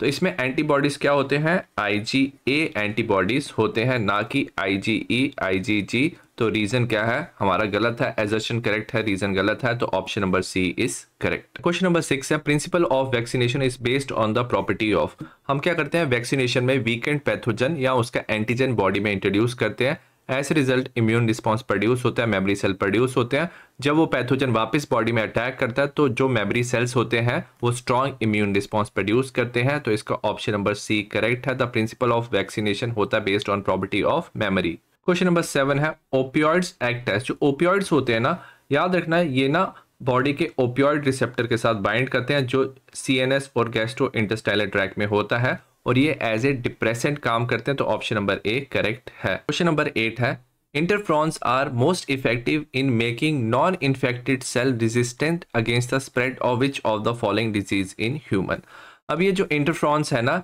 ये याद रखना वायरस के टाइम पे क्या होते हैं? प्रोड्यूस होते हैं। अब ये जो इंटरफ्रॉन्स है, ये क्या होते हैं? सडन टाइप ऑफ़ प्रोटीन्स होते हैं। ठीक है? वो क्या होते हैं? ये सिक्रीट करते हैं। They are secreted by virus infected cell ठीक है? जिन सेल पे क्या है? वायरस इन्फेक्टेड है। वो सेल क्या करते हैं? Certain type of protein secrete करते हैं। उस प्रोटीन को हम इंटरफ्रॉन्स कहते हैं। और ये जो प्रोटीन है, ये प्रोटेक्ट करता है। किन सेल को प्रोटेक्ट करता है? नॉन इन्फेक्टेड सेल को। ठीक है तो नॉन इन्फेक्टेड सेल को ये प्रोटेक्ट करता है। तो ये हो सकता है in case of viral disease और इसमें अगर हम वायरल डिज़ीज़ की बात करें तो ये है AIDS question number nine assertion है। Streptococcus pneumoniae and Haemophilus influenzae are responsible for causing infectious disease in human being तो ये ना निमोनिया कॉज करता है तो ये इन्फेक्शियस डिज़ीज़ कॉज करता है। करेक्ट है। रीजन क्या है? A healthy person acquired the infection by inhaling the droplet तो अगर पर्सन के ना ड्रॉपलेट आ जाए aerosol release by infected person तो ये डिज़ीज़ हो सकता है। So that's why it is a infectious disease तो ऑप्शन नंबर ए करेक्ट है। एजर्शन एंड रीजन दोनों करेक्ट है। And reason is correct explanation of assertion question number ten assertion दिया some disease that attack in childhood do not attack again तो ये assertion correct है। कुछ जो disease ना चाइल्डहुड में होती है, वो वापस इसलिए नहीं होती क्योंकि हमारी बॉडी ना उसके खिलाफ ना मेमोरी सेल्स बना देता है मेमोरी टी और बी सेल्स और जब वो डिज़ीज़ और इन्फेक्शन वापस हमारी बॉडी में आता है तो हमारी बॉडी एक स्ट्रॉन्ग इम्यून रिस्पॉन्स प्रोड्यूस करता है। तो रीज़न है memory cells play an important role तो ये एजर्शन का करेक्ट रीज़न है और इसका ये करेक्ट एक्सप्लेनेशन है। तो ऑप्शन नंबर ए करेक्ट है। क्वेश्चन नंबर इलेवन है the Plasmodium initially multiply within the liver cell. तो लीवर सेल में मल्टीप्लाई होता है, उसके बाद प्लाज्मोडियम ना रेड ब्लड सेल में जाता है और उसको रप्चर करता है। रप्चर करने पे ना वो एक टॉक्सिन रिलीज़ करता है, उस टॉक्सिन को हम हेमोजॉइन कहते हैं। जो हेमोजॉइन टॉक्सिन है ना, जब ये हमारी बॉडी में रिलीज़ होता है तो ये फीवर और चिल्स कॉज करता है तो ऑप्शन नंबर डी करेक्ट है। क्वेश्चन नंबर ट्वेल्व है which one of the following statement is correct with respect to immunity हमें करेक्ट स्टेटमेंट बताना है। सबसे पहले preformed antibodies need to be injected to treat the bite by viper snake तो ये correct है। तो जब कोई स्नेक काटता है ना तो हमारे पास पहले से प्री फॉर्म्ड एंटीबॉडीज होना चाहिए ताकि उसे इंजेक्ट कर पाए। इसे हम पैसिव इम्यूनिटी कहते हैं। ठीक है तो ये करेक्ट है। बाकी देख लेते हैं। The antibodies against smallpox pathogen are produce by T lymphocyte T lymphocyte antibodies produce नहीं करता, गलत है। Antibodies are protein each of which has four light chain तो इसमें क्या होता है? दो लाइट चेन होते हैं। और दो हैवी चेन होता है, ये गलत है। Rejection of kidney graft is function of B lymphocyte जो रिजेक्शन होता है that is because of T lymphocyte ये भी गलत है तो ऑप्शन नंबर जो फ़र्स्ट है that is correct question number thirteen है H I V selectively target जो एच आई वी है, वो टारगेट करता है टी लिम्फोसाइड्स को, और टी लिम्फोसाइड में टी हेल्पर सेल को वो टारगेट करता है। इसमें ये जाके क्या कर सकता है, जो एच आई वी है, इसके अंदर जाके वो क्या करता है रेप्लीकेट करता है। रेप्लिकेट करने से क्या होता है? इसकी कंसंट्रेशन टी हेल्पर सेल की कंसंट्रेशन कम होती है वायरस रेप्लिकेट करके खुद की कंसंट्रेशन इंक्रीज करता है और ओवरऑल बॉडी का इम्यून जो रिस्पॉन्स है वो वीक हो जाता है। क्वेश्चन नंबर फोर्टीन है cirrhosis of liver is cause by chronic intake of अगर ज़्यादा इनटेक ऑफ़ एल्कोहल करते हैं ना तो सिरोसिस ऑफ़ लीवर सिरोसिस मतलब जो लीवर है उसमें स्कारिंग हो जाती है मतलब वो डैमेज हो जाता है, इसे सिरोसिस ऑफ़ लीवर कहते हैं और इवेंचुअली इससे ना लीवर फेलियर भी हो सकता है। क्वेश्चन नंबर फिफ्टीन है match the following disease with the causative organism and select the correct option तो जो टाइफॉइड होता है, वो सेल्मोनीला टाइफी से होता है तो इसका ए का थर्ड ऑप्शन करेक्ट है। बी की बात करिए जाए निमोनिया किससे हो सकता है? हिमोफिलिस इन्फ्लुएंसा से हो सकता है तो बी का फोर्थ ऑप्शन करेक्ट है। फिलियासिस होता है विचनेरिया ब्रैंक्रोफ्टिस तो इसका फ़र्स्ट ऑप्शन मलेरिया प्लास्मोडियम से होता है। तो ओवरऑल जो ऑप्शन नंबर बी है, ये करेक्ट है। चैप्टर नंबर एट है microbes in human welfare question number one है the large hole in Swiss cheese are due to Swiss cheese में लार्ज होल होते हैं because of release of CO two और इसको बनाने के लिए बैक्टीरिया यूज़ किया जाता है प्रोपियोनी बैक्टीरियम शर्मानी तो ऑप्शन नंबर ए करेक्ट है. क्वेश्चन नंबर सेकेंड है the bioactive molecule use as immunosuppressive agent immune system को सप्रेस करने के लिए हम बायो एक्टिव मॉलिक्यूल लेते हैं during organ transplant organ transplant में हम जो ऑर्गन लेते हैं ना, हमारी बॉडी उसको रिजेक्ट कर सकती है तो हम इम्यून सिस्टम को सप्रेस करते हैं और इसमें जो बायो एक्टिव मॉलिक्यूल यूज़ हो सकता है, इसे हम साइक्लोस्पोरिन ए कहते हैं। क्वेश्चन नंबर थर्ड है given below are list of commercially important product and their sources हमें मैच करना है। सबसे पहले हमें दिया साइक्लोस्पोरिन ए इसका ऑप्शन होता है सेकंड ट्राइकोडर्मा पॉलीस्पोरम ये बनाता है और अभी हमने पढ़ा था ये इम्यून सिस्टम को सप्रेस करने के लिए यूजफुल होता है। सेकेंड है स्टैटिन जो स्टैटिन है, ये प्रोड्यूस करता है मोनेस्कस परप्यूरियक्स। जो स्टैटिन होता है ना, ये बॉडी के कोलेस्ट्रॉल को कम करता है। नेक्स्ट है स्ट्रेप्टोकाइनेस स्ट्रेप्टोकाइनेस जो है, इसे प्रोड्यूस करता है स्ट्रेप्टोकोकस ये बॉडी में क्या करता है, जो ब्लड क्लॉट होता है ना, उसको ब्लड वेसल में कम करता है। डी है पेंसिलिन पेंसिलिन एक एंटीबायोटिक है, इसे बनाता है पेनिसिलियम नोटेटम तो इसके ऑप्शन नंबर जो डी है, वो करेक्ट आंसर है। क्वेश्चन नंबर फोर है which one of the following fix the atmospheric nitrogen but it is not autotroph अगर ऑटोट्रॉप की बात की जाए ना तो इसमें ऑस्लिटोरिया एनाबेना और जो नॉस्टॉक है, वो ऑटोट्रॉप है। वेरियस जो राइजोबियम है ना, वो याद रखना वो क्या है? हिटेरोट्रॉपिक है। ठीक है? तो राइजोबियम इज़ हिट्रोट्रॉपिक और ये प्रेजेंट होता है नोड्यूल्स ऑफ़ लेग्यूमिनस प्लांट्स। ठीक है? ये लेग्यूमिनस प्लांट्स के नेड्यूल में प्रेजेंट होता है प्लांट से न्यूट्रिशन लेता है और साथ में क्या करता है? प्लांट के लिए नाइट्रोजन फिक्स करता है। क्वेश्चन नंबर फाइव है, some cyanobacteria in aquatic and terrestrial environment that enrich the soil by fixing atmospheric nitrogen are तो जो साइनोबैक्टीरिया है ना, वो याद रखना क्या होते हैं? ऑटोट्रॉपिक होते हैं। ठीक है? और कौन एटमॉस्फेरिक नाइट्रोजन फिक्स करता है? तो ऑप्शन नंबर सी करेक्ट है एनाबेना और नॉस्टॉक वो साइनोबैक्टीरिया है। क्वेश्चन नंबर सिक्स का एजर्शन है baculovirus are biocontrol agent of genus nucleopoly virus तो ये करेक्ट है। तो ये as a bio control agent काम करते हैं। तो याद रखना ये स्पेसिफिक ना स्पीशीज के इंसेक्ट्स को अटैक करते हैं। ठीक है? तो इन्हें हम ना as a narrow spectrum narrow spectrum हम इंसेक्टिसाइडल यूज़ के लिए हम इसको रखते हैं। ठीक है? तो बैक्लो वायरस जो है वो बायो कंट्रोल एजेंट काम करता है। दर्शन करेक्ट है रीजन है। They are effective against the plant pathogen तो प्लांट पैथोजन के अगेंस्ट भी ये क्या है? इफ़ेक्टिव है। तो अजर्शन भी करेक्ट है रीजन भी करेक्ट है बट इसका ये करेक्ट एक्सप्लेनेशन नहीं है। तो करेक्ट एक्सप्लेनेशन होना चाहिए था, जो बैक्लो वायरस है, वो बायो कंट्रोल एजेंट है, वो स्पेसिफिक इंसेक्ट्स के लिए ही क्या है, काम करते हैं, और ये नैरो स्पेक्ट्रम इंसेक्टिसाइडल यूज़ है। तो ऑप्शन नंबर बी करेक्ट है assertion reason are correct whereas reason is not the correct explanation for assertion question number seven है एजर्शन दिया है Glomus show symbiotic association with higher plants जो Glomus है ना, वो एक तरफ़ का क्या होता है? फंगाई होता है और इसका ना सिम्बियोटिक एसोसिएशन होता है हायर प्लांट के साथ, जिसे हम क्या बोलते हैं? माइकोराइजा कहते हैं। ठीक है? We called it as mycorrhiza जिसमें दोनों को बेनिफिट होता है। ठीक है? तो एजोशन हमारा करेक्ट है।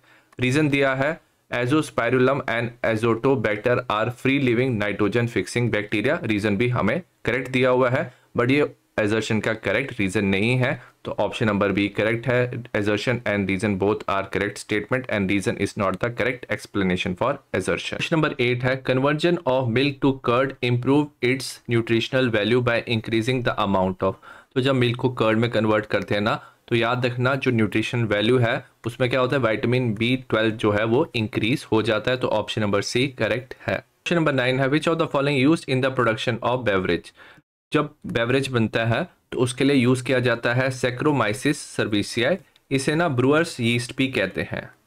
ठीक है? We also call it as brewer yeast ये ना फर्मेंटेशन में हेल्प करता है। इट हेल्प इन फर्मेंटेशन और इससे ना इथाइल एल्कोहल और इथेनॉल बनता है। क्वेश्चन नंबर टेन है। A bio control agent to be a part of integrated pest management should be ठीक है?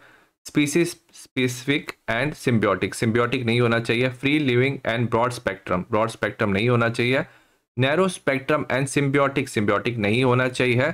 Species specific. स्पीशीज स्पेसिफिक होना चाहिए। And inactive on non target organism. तो नॉन टारगेट पे इनएक्टिव होना चाहिए और टारगेट में एक्टिव होना चाहिए। तो ऑप्शन नंबर डी करेक्ट है। इसका हमारा एग्ज़ाम्पल है बैकलो वायरसेस क्वेश्चन नंबर इलेवन है which one of the following statement is wrong in relation to transgenic BT cotton plant BT cotton plant में हम क्या करते हैं? जो बेसलेस थ्यूरेंजेंसिस है, उसके हम जीन्स लेते हैं प्लांट में डालते हैं तो बीटी कॉटन बनता है, वो उसे प्रोटेक्ट करता है फ्रॉम इंसेक्ट्स ए है crop yield loss due to attack by Bacillus thuringiensis bacteria is reduce तो ये गलत स्टेटमेंट है तो बेसलेस थ्यूरेंजेंसिस अटैक नहीं करता क्रॉप यील्ड को रिड्यूस नहीं करता.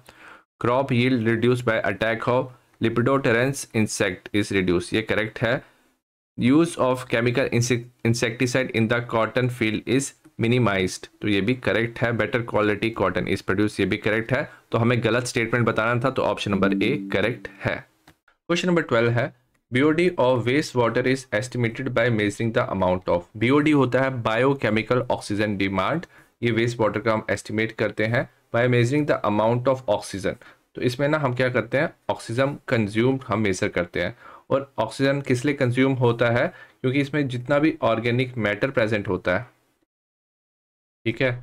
ऑर्गेनिक मैटर प्रेजेंट होता है in one litre is oxidize by bacteria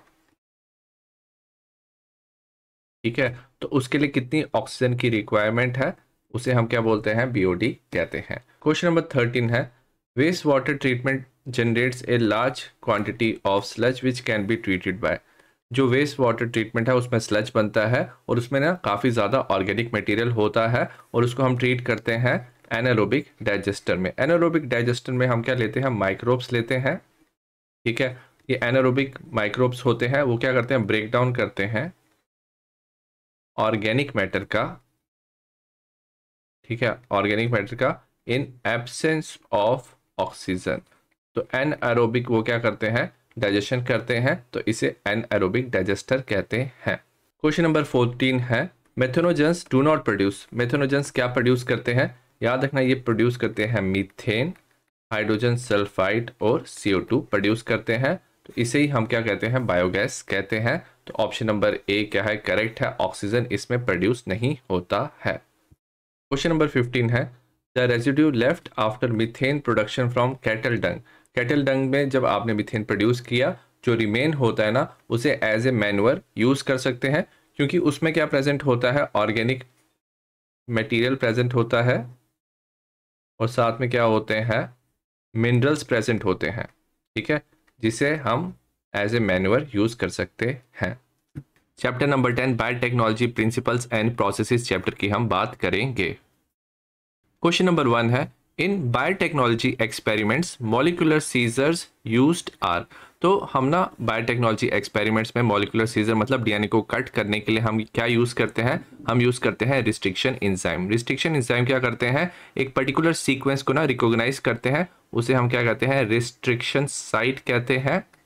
ठीक है? और ये जो डीएनए है, उसको कट करने में ये हेल्पफुल होते हैं। क्वेश्चन नंबर सेकंड है इंट्रोडक्शन ऑफ़ एलियन डीएनए मतलब फॉरेन डीएनए जिसमें जीन ऑफ़ इंटरेस्ट है इनटू प्लांट होस्ट सेल में हमें इंट्रोड्यूस करना है is achieve by making them तो प्लांट होस्ट सेल में अगर आप एलियन डीएनए इंट्रोड्यूस करना चाहते हो तो आप जीन गन यूज़ करते हो। जीन गन में हम क्या करते हैं हाई स्पीड ना माइक्रो पार्टिकल लेते हैं गोल्ड और टंगस्टन का, उसके साथ डीएनए मिक्स करते हैं, और हम nucleus of plant host cell को हिट करते हैं एज रिज़ल्ट वो उसे एक्सेप्ट कर लेता है, और जीन गन को ना बायोलिस्टिक्स भी कहा जाता है। क्वेश्चन नंबर थर्ड है given below is the restriction site for a restriction endonuclease P S T one P S T one का रिस्ट्रिक्शन हमें साइट्स दिया हुआ है। And the cleavage site cleavage site दिया डीएनए में कहाँ पे डीएनए कट हुआ है? ए और जी यहाँ पे है और यहाँ पे भी ए और जी में कट लगा हुआ है।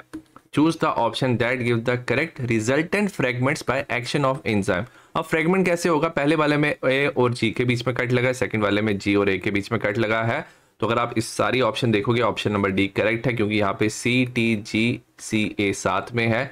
जी सेपरेट है, यहाँ पे जी सेपरेट है। ए C G T C separate है। तो option number D is correct question number four है एजर्शन दिया synthetic oligo oligonucleotide polymer are use during annealing in PCR तो पीसीआर में सबसे पहले क्या होता है? सपोज़ हमारे पास डीएनए के फ्रेगमेंट है तो सबसे पहले हम डी नेचुरेशन से दोनों जो सेगमेंट्स है उसको सेपरेट करते हैं। उसके बाद एनिलिंग करते हैं। एनिलिंग में क्या होता है? सपोज़ हमारे पास डीएनए है यहाँ पे फाइव प्राइम से थ्री प्राइम यह थ्री प्राइम से फाइव प्राइम तो थ्री प्राइम वाली जगह पे हम क्या करते हैं?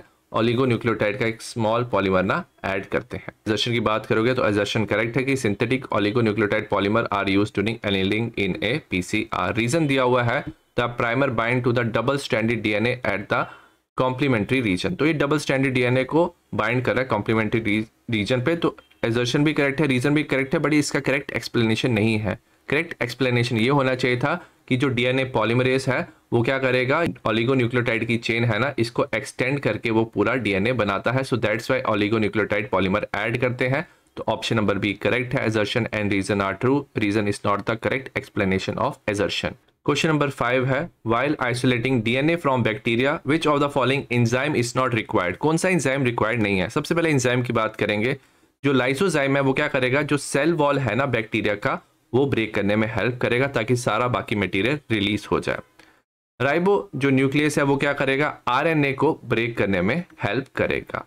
अब जो डी ऑक्सी राइबो न्यूक्लियस है वो डीएनए को ब्रेक करने में हेल्प करेगा और जो प्रोटीएस है, वो किसको ब्रेक करने में हेल्प करता है? प्रोटीन को ब्रेक करने में हेल्प करता है। अब हमें रिक्वायरमेंट किसकी है? हमें डीएनए की रिक्वायरमेंट है।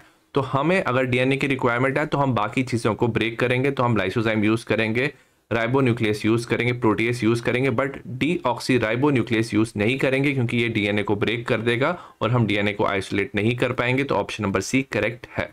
क्वेश्चन नंबर सिक्स है the given figure show the structure of a plasmid हमें प्लास्मिड दिया P B R three two two इसमें हमें ओ आर आई दिया origin of replication ampicillin resistant gene यहाँ प्रेजेंट है टेट्रासाइक्लिन रेजिस्टेंट जीन यहाँ पे प्रेजेंट है और यहाँ पे है बैम एच वन ठीक है?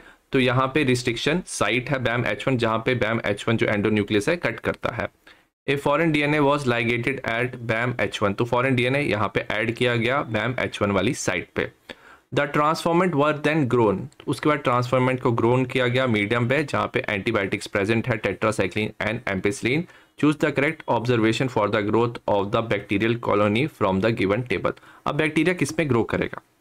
अगर हम बात करें ना फ़र्स्ट वाले में एम्पेसिलिन रेसिस्टेंट जीन बैक्टीरिया में प्रेजेंट है। तो अगर आप उसे एम्पेसिलिन में ग्रो करोगे तो वो क्या करेगा? ग्रोथ शो करेगा। ठीक है? क्योंकि एम्पेसिलिन रेसिस्टेंट जीन प्रेजेंट है बट अगर आप टेट्रासाइक्लिन में उसे ग्रो करोगे ना क्योंकि टेट्रासाइक्लिन जीन को रिमूव करके फॉरन डीएनए ऐड किया गया है तो इस जगह पे क्या है रेजिस्टेंस अब नहीं रही है। तो अगर आप बैक्टीरिया को ग्रो करोगे टेट्रासाइक्लिन में तो वो कोई ग्रोथ शो नहीं करेगा, क्योंकि उसको रिमूव करके फॉरन डीएनए ऐड किया गया है।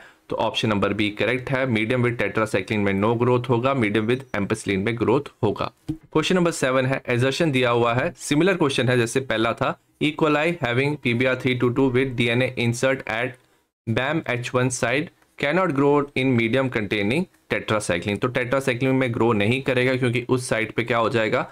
जो ये वाली जीन्स है वो रिमूव हो जाएगी फॉर इंडिया ने ऐड हो जाएगा। रीजन दिया है recognition side for Bam H one is present at tetracycline region of pBR three two two तो एजर्शन भी करेक्ट है रीजन भी करेक्ट है और इसका करेक्ट एक्सप्लेनेशन है। तो ऑप्शन नंबर ए ये करेक्ट है। क्वेश्चन नंबर एट है एजर्शन है amplification of gene of interest can be done by polymerase chain reaction तो पॉलीमरेज चेन रिएक्शन से हम जीन ऑफ़ इंटरेस्ट की मल्टीपल कॉपीज बना सकते हैं एजर्शन करेक्ट है।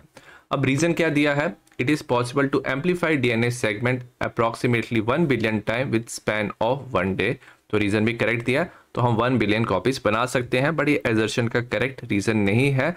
करेक्ट रीज़न होना चाहिए था कि इसमें क्या होते हैं, अगर आपको एम्पलीफिकेशन करने हैं तो तीन स्टेप्स होते हैं जैसे फॉलो करते हैं denaturation annealing and extension उससे हम बहुत सारी कॉपीज बना सकते हैं तो ऑप्शन नंबर बी करेक्ट है where assertion reason both are correct but reason is not the correct explanation for assertion question number nine है एजर्शन दिया है।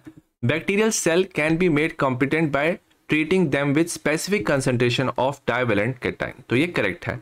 जो बैक्टीरियल सेल है ना, वो डीएनए को एक्सेप्ट नहीं करता है तो उसे कॉम्पिटेंट बनाने के लिए हम डाइवेलेंट कटाइन जैसे कैल्शियम टू प्लस यूज़ कर सकते हैं। रीजन क्या दिया है? The treatment of bacterial cell with divalent cation increase the efficiency with which DNA enters the bacterium through pores in it cell wall तो रीजन भी हमें करेक्ट दिया हुआ है। क्योंकि जब आप डाइवेलेंट कटाइन देते हो ना तो उसकी जो एफिशिएंसी है कि वो डीएनए एक्सेप्ट कर ले, वो इंक्रीज हो जाता है तो ज़्यादा डीएनए ट्रांसफ़र हो सकता है थ्रू इट्स स्पोर तो एजर्शन का रीज़न भी करेक्ट है और ये करेक्ट एक्सप्लेनेशन भी है तो ऑप्शन नंबर ए करेक्ट है। क्वेश्चन नंबर टेन है find the correct palindromic sequence for the given DNA segment palindromic sequence मतलब इसी सीक्वेंस को हम उल्टा कर देंगे तो हम थ्री प्राइम यहाँ पे लिखेंगे। यहाँ पे पहले टी आ रहा था, फिर लिखेंगे टी फिर A A C G T T A five prime तो अगर आप इसी सीक्वेंस को उल्टा कर लेते हो तो इसे हम क्या बोलते हैं? पैलिंड्रोमिक सीक्वेंस कहते हैं। तो ऑप्शन नंबर अगर आप बी देखोगे, वो करेक्ट है। क्वेश्चन नंबर इलेवन है। DNA segment on gel stain with ethidium bromide जब हम जेल इलेक्ट्रोफोर्सिस करते हैं ना तो हमारे पास जो डीएनए की सेगमेंट आती है, उसे हम स्टेन करते हैं यूजिंग इथीडियम ब्रोमाइड उसके बाद हम उसे व्यू करते हैं अंडर यूवी रेडिएशन और वो अपेयर होते हैं ब्राइट ऑरेंज बैंड्स। तो ऑप्शन नंबर जो सी है वो करेक्ट है। क्वेश्चन नंबर ट्वेल्व है choose the correct pair from the following ligase join the two DNA molecule तो पहला एक ऑप्शन हमें करेक्ट दिया हुआ है, बाकी भी देख लेते हैं। Polymerase break the DNA into fragment जो पॉलीमरेस है वो डीएनए को ना एक्सटेंड करने में हेल्प करता है तो ये गलत दिया हुआ है। Nuclease separate the two strand of DNA तो ये भी गलत है, ये डीएनए को कट करने में न्यूक्लियस हेल्प करता है। एक्सो न्यूक्लियस में cut at specific position within DNA ये विद इन डीएनए कट नहीं करता, जो डीएनए है, उसके टर्मिनल पोजीशन पे एक्सोन्यूक्लियस कट करता है तो ये भी गलत है। तो ऑप्शन नंबर वन करेक्ट है, जो लाइगेस है, वो ज्वाइन करता है टू डीएनए मॉलिक्यूल्स को। क्वेश्चन नंबर थर्टीन है which of the following is a correct sequence of step in PCR polymerase chain reaction अगर हम पॉलीमरेज चेन रिएक्शन की बात की जाए ना, सबसे पहले जो स्टेप होता है, वो होता है डी नेचुरेशन डीएनए के फ्रेगमेंट्स को सेपरेट किया जाता है हाई टेम्परेचर पे। उसके बाद ऑलिगोन्यूक्लियोटाइड का चेन ना ऐड किया जाता है small chain on both sides उसके बाद क्या होता है टैग पॉलीमरेज क्या करता है डीएनए को एक्सटेंड करता है। तो ये जो तीन स्टेप्स है, ये है denaturation annealing and extension तो ऑप्शन नंबर बी करेक्ट है।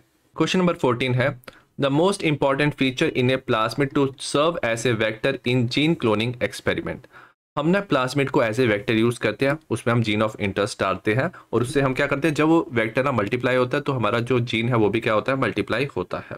ठीक है? तो उसके लिए सबसे ज़्यादा इंपॉर्टेंट चीज़ होती है ओरिजिन ऑफ़ रेप्लीकेशन अब ये जो ओरिजिन ऑफ़ रेप्लीकेशन है ना, उसके पास हम क्या करते हैं जीन ऑफ़ इंटरेस्ट लिंक करते हैं, ताकि जब वो रेप्लीकेट हो ओरिजिन ऑफ़ रेप्लीकेशन से तो हमारा जीन ऑफ़ इंटरेस्ट भी रेप्लीकेट हो।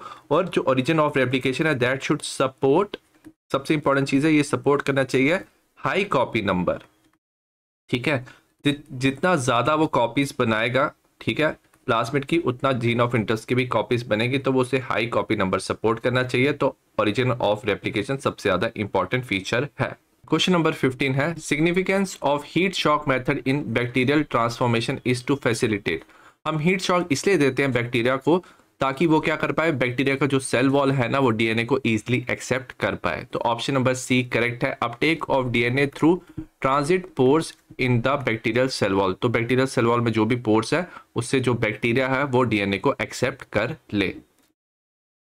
नेक्स्ट हम बात करेंगे चैप्टर नंबर टेन की biotechnology and its application question number one है cry genes that code for insecticidal toxin are present in जो क्राई जीन्स होते हैं ना वो प्रेजेंट होते हैं बेसिलस थ्यूरिन जेंसिस में। दैट्स वाई हम, अगर कॉटन में हमने ये जीन्स डालें तो उसे हम बीटी कॉटन कहते हैं। और जो क्राई जीन्स है ना, वो एक टॉक्सिन प्रोटीन प्रोड्यूस करते हैं, जिसे हम क्राई प्रोटीन भी कहते हैं। तो ऑप्शन नंबर जो डी है that is correct question number second है which one of the following is not the product of transgenic experiment ठीक है, जो पेस्ट रेजिस्टेंट क्रॉप वेराइटी है, जैसे बीटी कॉटन ये ट्रांसजेनिक एक्सपेरिमेंट का प्रोडक्ट है। High nutritional value in grains तो जैसे हम गोल्डन राइस में विटामिन ए की न्यूट्रिशन वैल्यू इंक्रीज कर सकते हैं तो ये भी ट्रांसजेनिक एक्सपेरिमेंट का प्रोडक्ट है। Production of insulin by recombinant DNA technology तो ये ट्रांसजेनिक एक्सपेरिमेंट का प्रोडक्ट नहीं है, ये रिकॉम्बिनेंट डीएनए टेक्नोलॉजी का प्रोडक्ट है। हमें पूछा था which of following is not ठीक है तो ऑप्शन नंबर डी करेक्ट है। और अगर ड्रॉट रेजिस्टेंट क्रॉप की बात की जाए, इसमें भी हम ट्रांसजेनिक एक्सपेरिमेंट से इसे बनाते हैं। क्वेश्चन नंबर थर्ड है बीटी कॉटन इज़ नॉट पूछा है a GM plant genetically modified तो ये जीएम मॉडिफाइड प्लांट है। इंसेक्ट रेजिस्टेंट भी ये प्लांट है। A bacterial gene expressing system इसमें बैक्टीरिया का जीन जो क्राई जीन है, वो एक्सप्रेस होता है, वो भी करेक्ट है। रेजिस्टेंस टू ऑल पेस्टिसाइड ये इंसेक्ट से रेजिस्टेंट होता है not resistant to all pesticide तो ऑप्शन नंबर डी हमारा करेक्ट आंसर है। क्वेश्चन नंबर फोर है एजर्शन है mouse is the most preferred mammal for study on gene transfer तो ये करेक्ट है। माउस सबसे ज़्यादा प्रेफर्ड होता है फॉर जीन ट्रांसफ़र और ट्रांसजेनिक एनिमल्स में। रीज़न दिया है, जो माउस है वो प्रोसेस करता है features like short oestrous cycle gestation period relatively short generation time production of several offspring per pregnancy तो रीजन भी करेक्ट है, ये एजर्शन का करेक्ट रीजन है तो ऑप्शन नंबर ए करेक्ट है। क्वेश्चन नंबर फाइव है alpha one antitrypsin is ये एक प्रोटीन है जो यूज़ किया जाता है टू ट्रीट एम्फीसीमा तो ऑप्शन नंबर डी करेक्ट है। क्वेश्चन नंबर सिक्स है consumption of which of the following food can prevent the kind of blindness associated with vitamin A deficiency vitamin A की deficiency से night blindness हो सकती है और उसके लिए ना गोल्डन राइस खा सकते हैं। गोल्डन राइस एक ट्रांसजेनिक राइस होता है जिसमें वाइटामिन ए प्रेजेंट होता है। क्वेश्चन नंबर सेवन है pairing that the child to be born may have genetic disorder child को जेनेटिक डिसऑर्डर है. Couple goes to doctor which one of the following technique is use to suggested by the doctor to cure the genetic disorder genetic disorder को cure करने के लिए ना gene therapy किया जाता है। जीन थेरेपी में क्या होता है? जो फॉल्टी जीन्स है ना, ठीक है? फॉल्टी जीन्स को ना रिप्लेस किया जाता है। ठीक है? इसे रिप्लेस किया जाता है बाय नॉर्मल जीन और फंक्शनल जीन से। फंक्शनल जीन जिससे क्योर किया जाता है डिसऑर्डर इसे जीन थेरेपी कहते हैं। क्वेश्चन नंबर एट है one of the advantage of developing transgenic mice is that it is very useful to study vaccine safety तो सबसे ज़्यादा इंपॉर्टेंट है जो ट्रांसजेनिक माइस है ना, उससे हम ना स्टडी कर सकते हैं वैक्सीन की सेफ्टी तो ये सबसे ज़्यादा इंपॉर्टेंट है तो ऑप्शन नंबर ए करेक्ट है। क्वेश्चन नंबर नाइन है the illegal and unlawful development of biomaterial without payment to the inhabitants of their origin is called as अगर आप किसी भी कंट्री के या किसी कल्चर के आप बायो मटीरियल और उसकी क्रॉप आप यूज़ कर रहे हो विदाउट देयर परमिशन और इलीगली और अनलॉफुली आप अगर वो यूज़ करते हो किसी का बायो मटीरियल तो इसे बायो पायरेसी कहते हैं तो ऑप्शन नंबर डी करेक्ट है। क्वेश्चन नंबर टेन है। बेसिलस थ्यूरेंजेंसी जिसे हम बीटी स्टेन कहते हैं has been use for designing novel तो इससे हम क्या डिज़ाइन कर सकते हैं? हम इससे बीटी कॉटन बना सकते हैं। बीटी ब्रिंजल बना सकते हैं। तो हम बायो इंसेक्टिसाइडल प्लांट बना सकते हैं जो इंसेक्ट रेजिस्टेंट होते हैं। क्वेश्चन नंबर इलेवन है C peptide of human insulin is अगर हम बात करें ना, जो ह्यूमन इंसुलिन होता है ना, वो पहले ना प्रो इंसुलिन की फॉर्म में होता है। ठीक है? और इसमें ना तीन पेप्टाइड की चेन होती है ए बी एंड सी और जब ये इंसुलिन क्या करता है मैच्योर करता है ना तो जो सी चेन है, वो क्या होता है? सी पेप्टाइड की चेन क्या हो जाती है? रिमूव हो जाती है और ए बी ना एक दूसरे से कंबाइन करते हैं बाय सल्फाइड लिंकेज ठीक है? सल्फाइड लिंकेज से वो इंसुलिन बनाते हैं। तो इसका ऑप्शन नंबर सी करेक्ट है। जो सी पेप्टाइड है remove during maturation of proinsulin to insulin question number twelve है the site of production of ADA ADA क्या होता है? एडिनोसिन डी अमाइनेस इंजाइम ठीक है? अब ये जो एडिनोसिन डी अमाइनेस इंजाइम है ना, इसकी जो जीन्स होती है ना, वो प्रेजेंट होती है लिम्फोसाइट में। ठीक है? तो लिम्फोसाइट ही क्या करते हैं? प्रोड्यूस करते हैं A D A question number thirteen है the trigger for activation of toxin of bacillus thuringiensis is अगर बेसिलस थ्यूरेंजेंसिस का जो टॉक्सिन होता है ना, वो पहले ना इनएक्टिव फॉर्म में होता है। ठीक है? तो जब कोई इंसेक्ट उसे खाता है ना, ठीक है?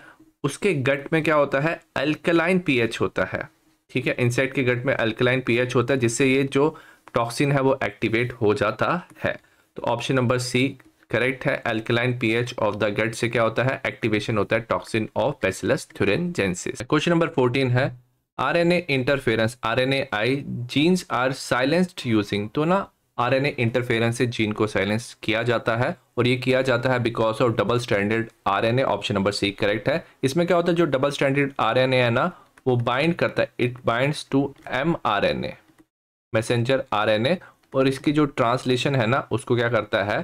प्रिवेंट करता है। So prevent its translation as result क्या होता है? जो जीन है, वो एक्सप्रेस नहीं कर पाता है। इसे साइलेंसिंग ऑफ़ द जीन कहते हैं। क्वेश्चन नंबर फिफ्टीन है। जी ई ए सी स्टैंड फॉर जो जी ई ए सी है, इसका मतलब होता है जेनेटिक इंजीनियरिंग अप्रूवल कमेटी तो ऑप्शन नंबर सी इसमें क्या है?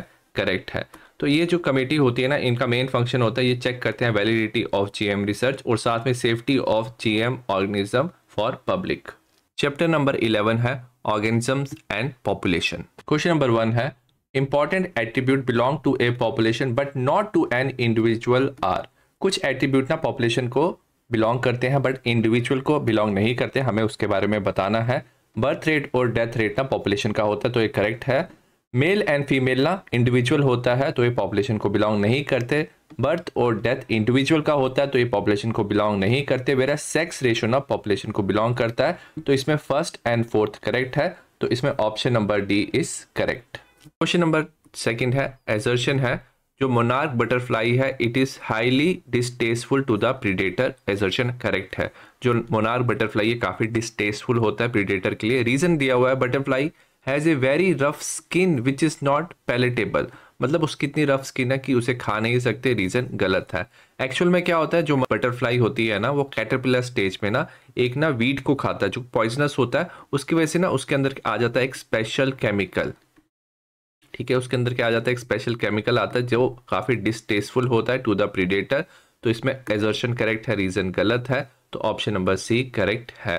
क्वेश्चन नंबर थर्ड है a tight one to one relationship between many species of fig tree and certain wasp is an example of तो जो वास्प और फिक्ट्री का रिलेशनशिप है, इसे म्यूचुअलिज्म कहते हैं। जो वास्प है ना, वो क्या करता है फिग ट्री की ना, वो क्या करता है, उसकी पॉलिनेशन में हेल्प करता है।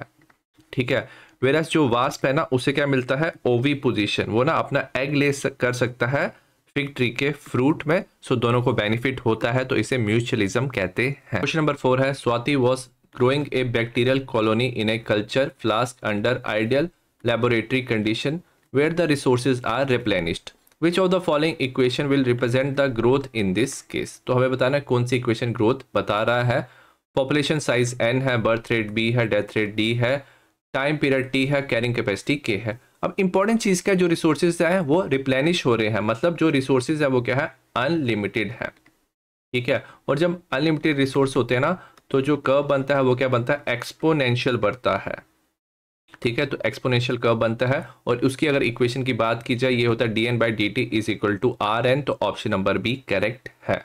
क्वेश्चन नंबर फाइव है given is the age pyramid of population in one of the states of India in 2011 census it depict the male population of the left hand side male left hand side में है female right hand side में है। जो new born है toward the base new born base की तरफ़ है। And gradually age increases as we move from base to top तो जैसे ऊपर जा रहे हैं तो एज इंक्रीज हो रहा है और जो ओल्डेस्ट पॉपुलेशन है टॉप में है। हमें ये पैरामिड स्टडी करना है और हमें बताना है। सबसे पहले एजर्शन दिया हुआ है it is a stable population तो एजर्शन करेक्ट है। तो इसमें अगर आप देखोगे ना तो यहाँ पे एक बेल शेप कर्व बन रहा है। तो इसे ना हम स्टेबल पॉपुलेशन भी कहते हैं। अगर आप देखोगे ना प्री रिप्रोडक्टिव पॉपुलेशन है और रिप्रोडक्टिव पॉपुलेशन है ऑलमोस्ट वो दोनों क्या है सेम है तो इसे स्टेबल पॉपुलेशन कहते हैं। रीजन क्या दिया हुआ है? The pre reproductive and reproductive individual are almost in equal number and the post reproductive individuals are relatively low तो पोस्ट रिप्रोडक्टिव वाले क्या है? कम है where pre reproductive and reproductive क्या है? ऑलमोस्ट इक्वल है। तो एजर्शन करेक्ट है और ये इसका करेक्ट रीजन इसका करेक्ट एक्सप्लेनेशन है तो ऑप्शन नंबर ए करेक्ट है।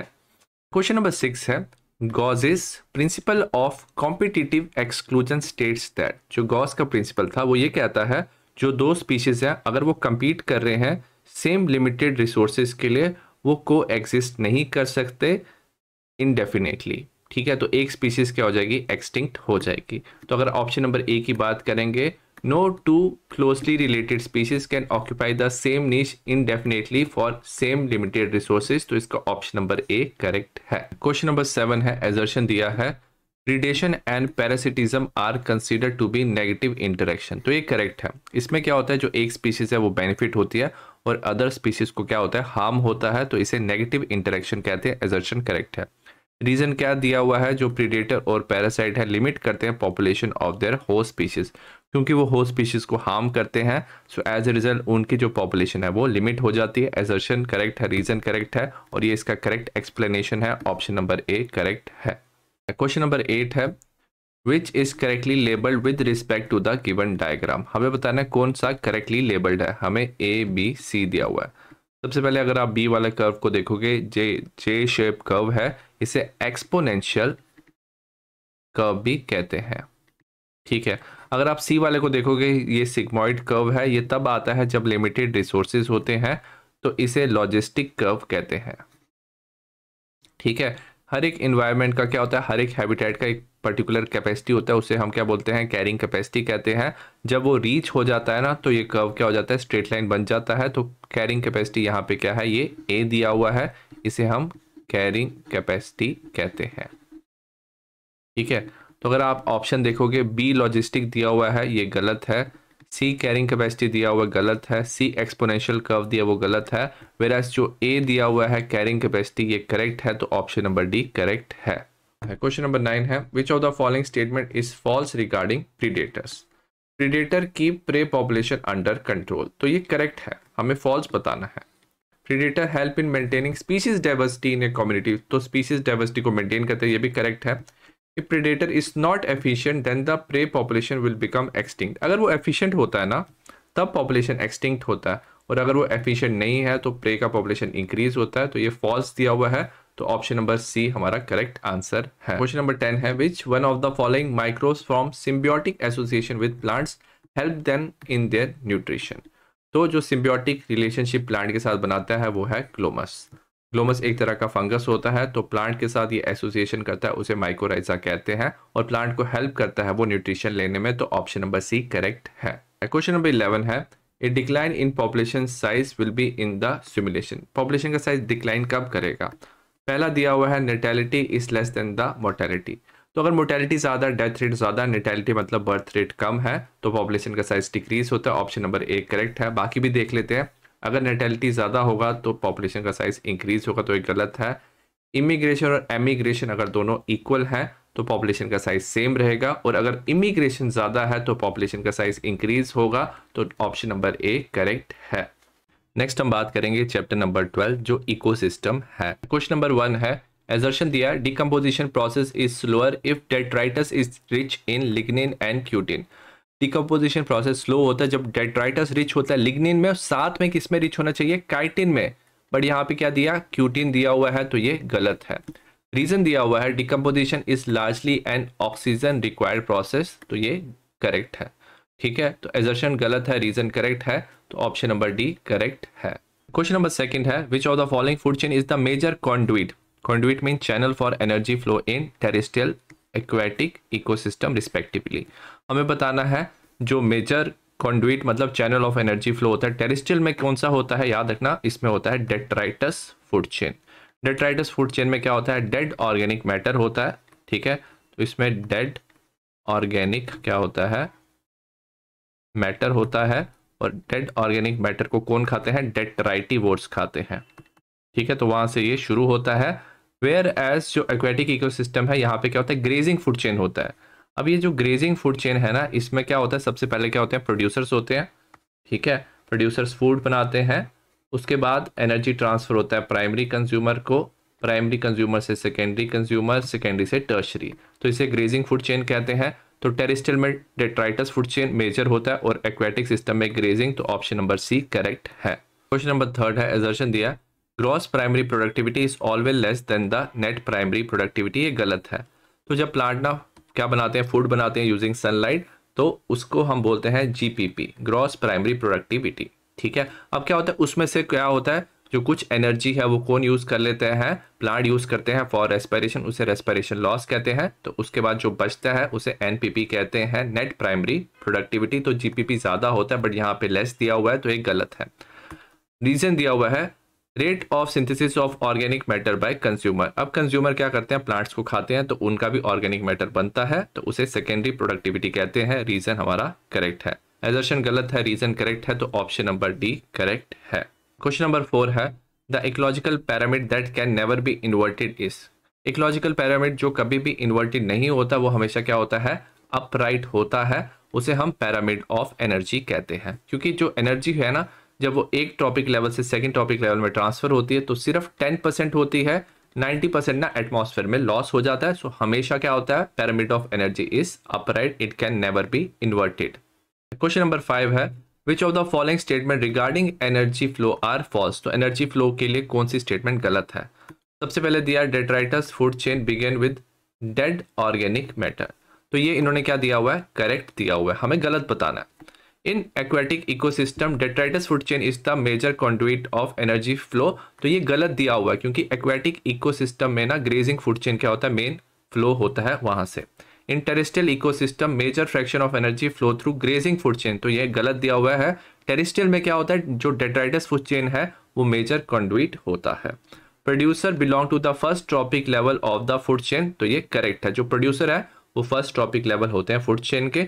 तो अगर हम बात करें जो सेकंड एंड थर्ड ऑप्शन है, वो क्या है? गलत है। तो option number A is correct answer question number six है in a food chain peacock eat snake which is fed by frog frog eat insect by insect eat green plants position the peacock in food chain अगर हम position की बात करें, सबसे पहले हमारा क्या आएगा? प्लांट आएगा।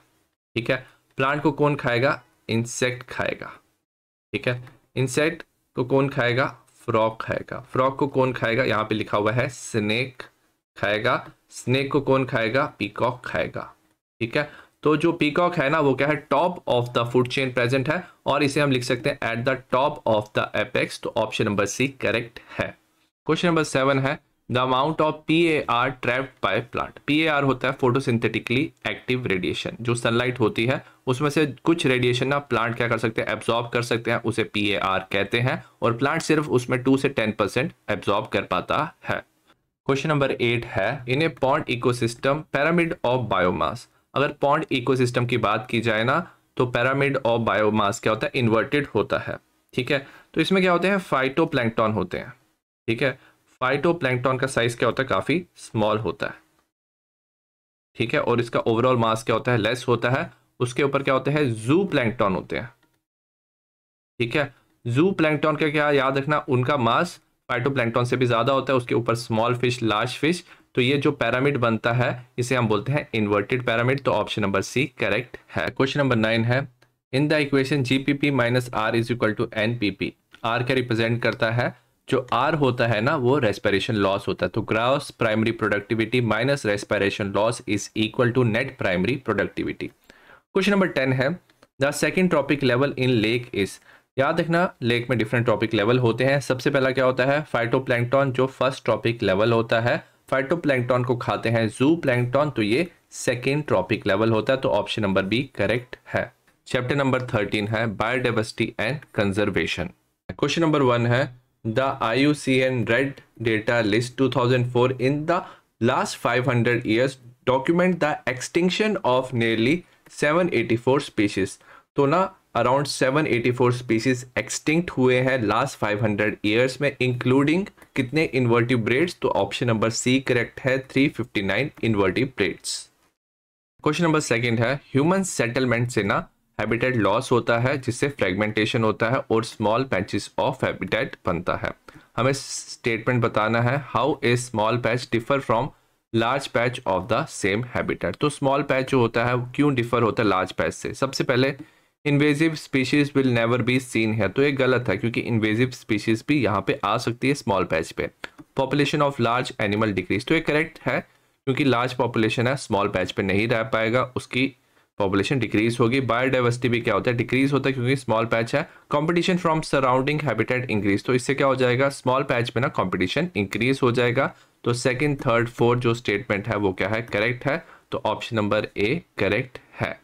क्वेश्चन नंबर थर्ड है it is observe that the species diversity decreases as we move तो याद रखना, जो स्पीशीज की डाइवर्सिटी होती है ना, वो सबसे ज़्यादा इक्वेटर पे होती है। और जब पोल की तरफ़ मूव करते हो तो डाइवर्सिटी क्या होती है? डिक्रीज होती है। तो ऑप्शन नंबर ए करेक्ट है। Move away from equator to poles question number four है species area relationship is represented on a log scale अगर नॉर्मली अगर आप स्पीशीज एरिया का रिलेशनशिप बनाओ ना तो आपको रेक्टेंगुलर हाइपरबोला मिलता है, जो होता है S is equal to C A raise to power set but अगर आप लॉग स्केल में बनाओ ना तो ये क्या बन जाता है? लीनियर बन जाता है। ठीक है? तो लॉग स्केल में ये होता है log of S is equal to log of C plus Z log of A ठीक है? तो लॉग स्केल में याद रखना ये क्या हो जाता है? लीनियर हो जाता है तो ऑप्शन नंबर सी करेक्ट है। क्वेश्चन नंबर फाइव है one of the ex situ conservation methods for endangered species ex situ में क्या होता है? जो स्पीशीज है ना, वो आउटसाइड देयर नेचुरल हैबिटेट में ना, उसे हम क्या करते हैं? कंजर्व करते हैं। अगर बायोस्फेयर रिज़र्व की बात की जाए national park wildlife sanctuary ये तीनों ना इन सी टू कंजर्वेशन में आते हैं। नेचुरल इन्वायरमेंट में ऑर्गेनिज्म सर्वाइव करता है। वेर एस जो क्रायो प्रेजर्वेशन है। इसमें क्या कर सकते हैं, जो गैमीट्स है ना थ्रेटन स्पीसीज के, उसको क्या कर सकते हैं प्रिजर्व करके रख सकते हैं, ताकि बाद में इन विट्रो फर्टिलाइजेशन की जा सके। क्वेश्चन नंबर सिक्स है एजर्शन है। एक community with more species is more stable than with less species तो मोर स्पीसीज वाली जो कम्युनिटी है, वो ज़्यादा स्टेबल होती है देन लेस स्पीसीज याद रखना, जब स्टेबल होता है ना तो वो ना कोई भी डिस्टर्बेंस को क्या कर सकते हैं हैंडल कर सकते हैं और एलियन स्पीशीज इन्वेजन से रेजिस्टेंस शो कर सकते हैं एजर्शन करेक्ट है। रीजन दिया हुआ है more the number of species जितनी ज़्यादा नंबर ऑफ़ स्पीशीज हो less the variation in total biomass production year after year तभी हम इसे क्या बोलते हैं, ये स्टेबल है एजर्शन करेक्ट है रीजन करेक्ट है, और ये इसका करेक्ट एक्सप्लेनेशन है ऑप्शन नंबर ए करेक्ट है। क्वेश्चन नंबर सेवन है which of the following is an example of ex situ conservation ex situ conservation में आउटसाइड नेचुरल हैबिटेट स्पीसीज को कंजर्व किया जाता है। अगर सेक्रेट ग्रुप नेशनल पार्क और बायोस्फेयर रिज़र्व की बात की जाए, ये इन सीटू कंजर्वेशन है वेर एज जो सीड बैंक है, वहाँ पे सीड को प्रिजर्व किया जाता है, ये एक्स सी टू कंजर्वेशन है ऑप्शन नंबर डी करेक्ट है। क्वेश्चन नंबर एट है एजर्शन है maximum biodiversity occurs in temperate area ये गलत है। मैक्सिमम जो बायोडाइवर्सिटी होता है ना, वो क्या हाँ होता है ट्रॉपिकल एरिया में होता है। रीजन दिया हुआ है temperate area have favourable condition for speciation and for supporting variety and number of organism तो ये करेक्ट है। टेम्परेट रीजन में क्या होता है? ट्रॉपिकल से कम बायोडाइवर्सिटी होती है बट स्टिल उनके पास फेवरेबल कंडीशन होता है, ताकि वो वेराइटी और नंबर ऑफ़ ऑर्गेनिज्म को सपोर्ट कर पाए। एजर्शन गलत है रीजन करेक्ट है तो ऑप्शन नंबर डी करेक्ट है। क्वेश्चन नंबर नाइन है एजर्शन है। Dodo passenger pigeon Steller sea cow have become extinct due to over exploitation तो ये करेक्ट है। ओवर एक्सप्लॉयटेशन से ये स्पीशीज एक्सटिंक्ट हो चुकी है। रीजन है excessive exploitation of species whether animal और plant reduce size of the population so that it becomes vulnerable to extinction तो एजर्शन करेक्ट है रीजन करेक्ट है, इसका करेक्ट एक्सप्लेनेशन है। तो ऑप्शन नंबर ए करेक्ट है। क्वेश्चन नंबर टेन है the highest number of species among the following in the world is represented by अगर fungi mosses algae और लाइकन्स की बात की जाए तो सबसे ज़्यादा स्पीशीज फंगाई की होती क्वेश्चन नंबर इलेवन है sacred groups are especially useful in sacred groups ना कुछ ऐसा रीजन होता है, जहाँ पे ना उसको रिस्पेक्ट किया जाता है कल्चरल और रिलीजियस उसके बिलीफ होते हैं तो उसे डिस्टर्ब नहीं किया जाता है। तो जो सेक्रेट ग्रुप्स है स्पेशली यूजफुल होते हैं ऑप्शन नंबर डी करेक्ट है conserving rare and threatened species के लिए। क्वेश्चन नंबर ट्वेल्व है which of the following is not an ex situ conservation तो हमें इन सी टू कंजर्वेशन बताना है। क्रायो प्रिजर्वेशन जो है, वो एक्स सी टू है सीड बैंक क्या है? एक्सी टू है बोटेनिकल गार्डन भी एक्स टू है वेयर एस जो बायोस्फेयर रिज़र्व है, वो क्या है? इन सी टू है तो ऑप्शन नंबर सी करेक्ट है। क्वेश्चन नंबर थर्टीन है total number of identified biodiversity hotspots in the world is तो ये है around thirty four question number fourteen है which of the following does not come under the evil quartet habitat loss and fragmentation evil quartet में आता है। Over exploitation भी आता है। एलियन स्पीशीज इन्वेजन भी आता है। Whereas intensive agriculture evil quartet में नहीं आता तो ऑप्शन नंबर डी करेक्ट है।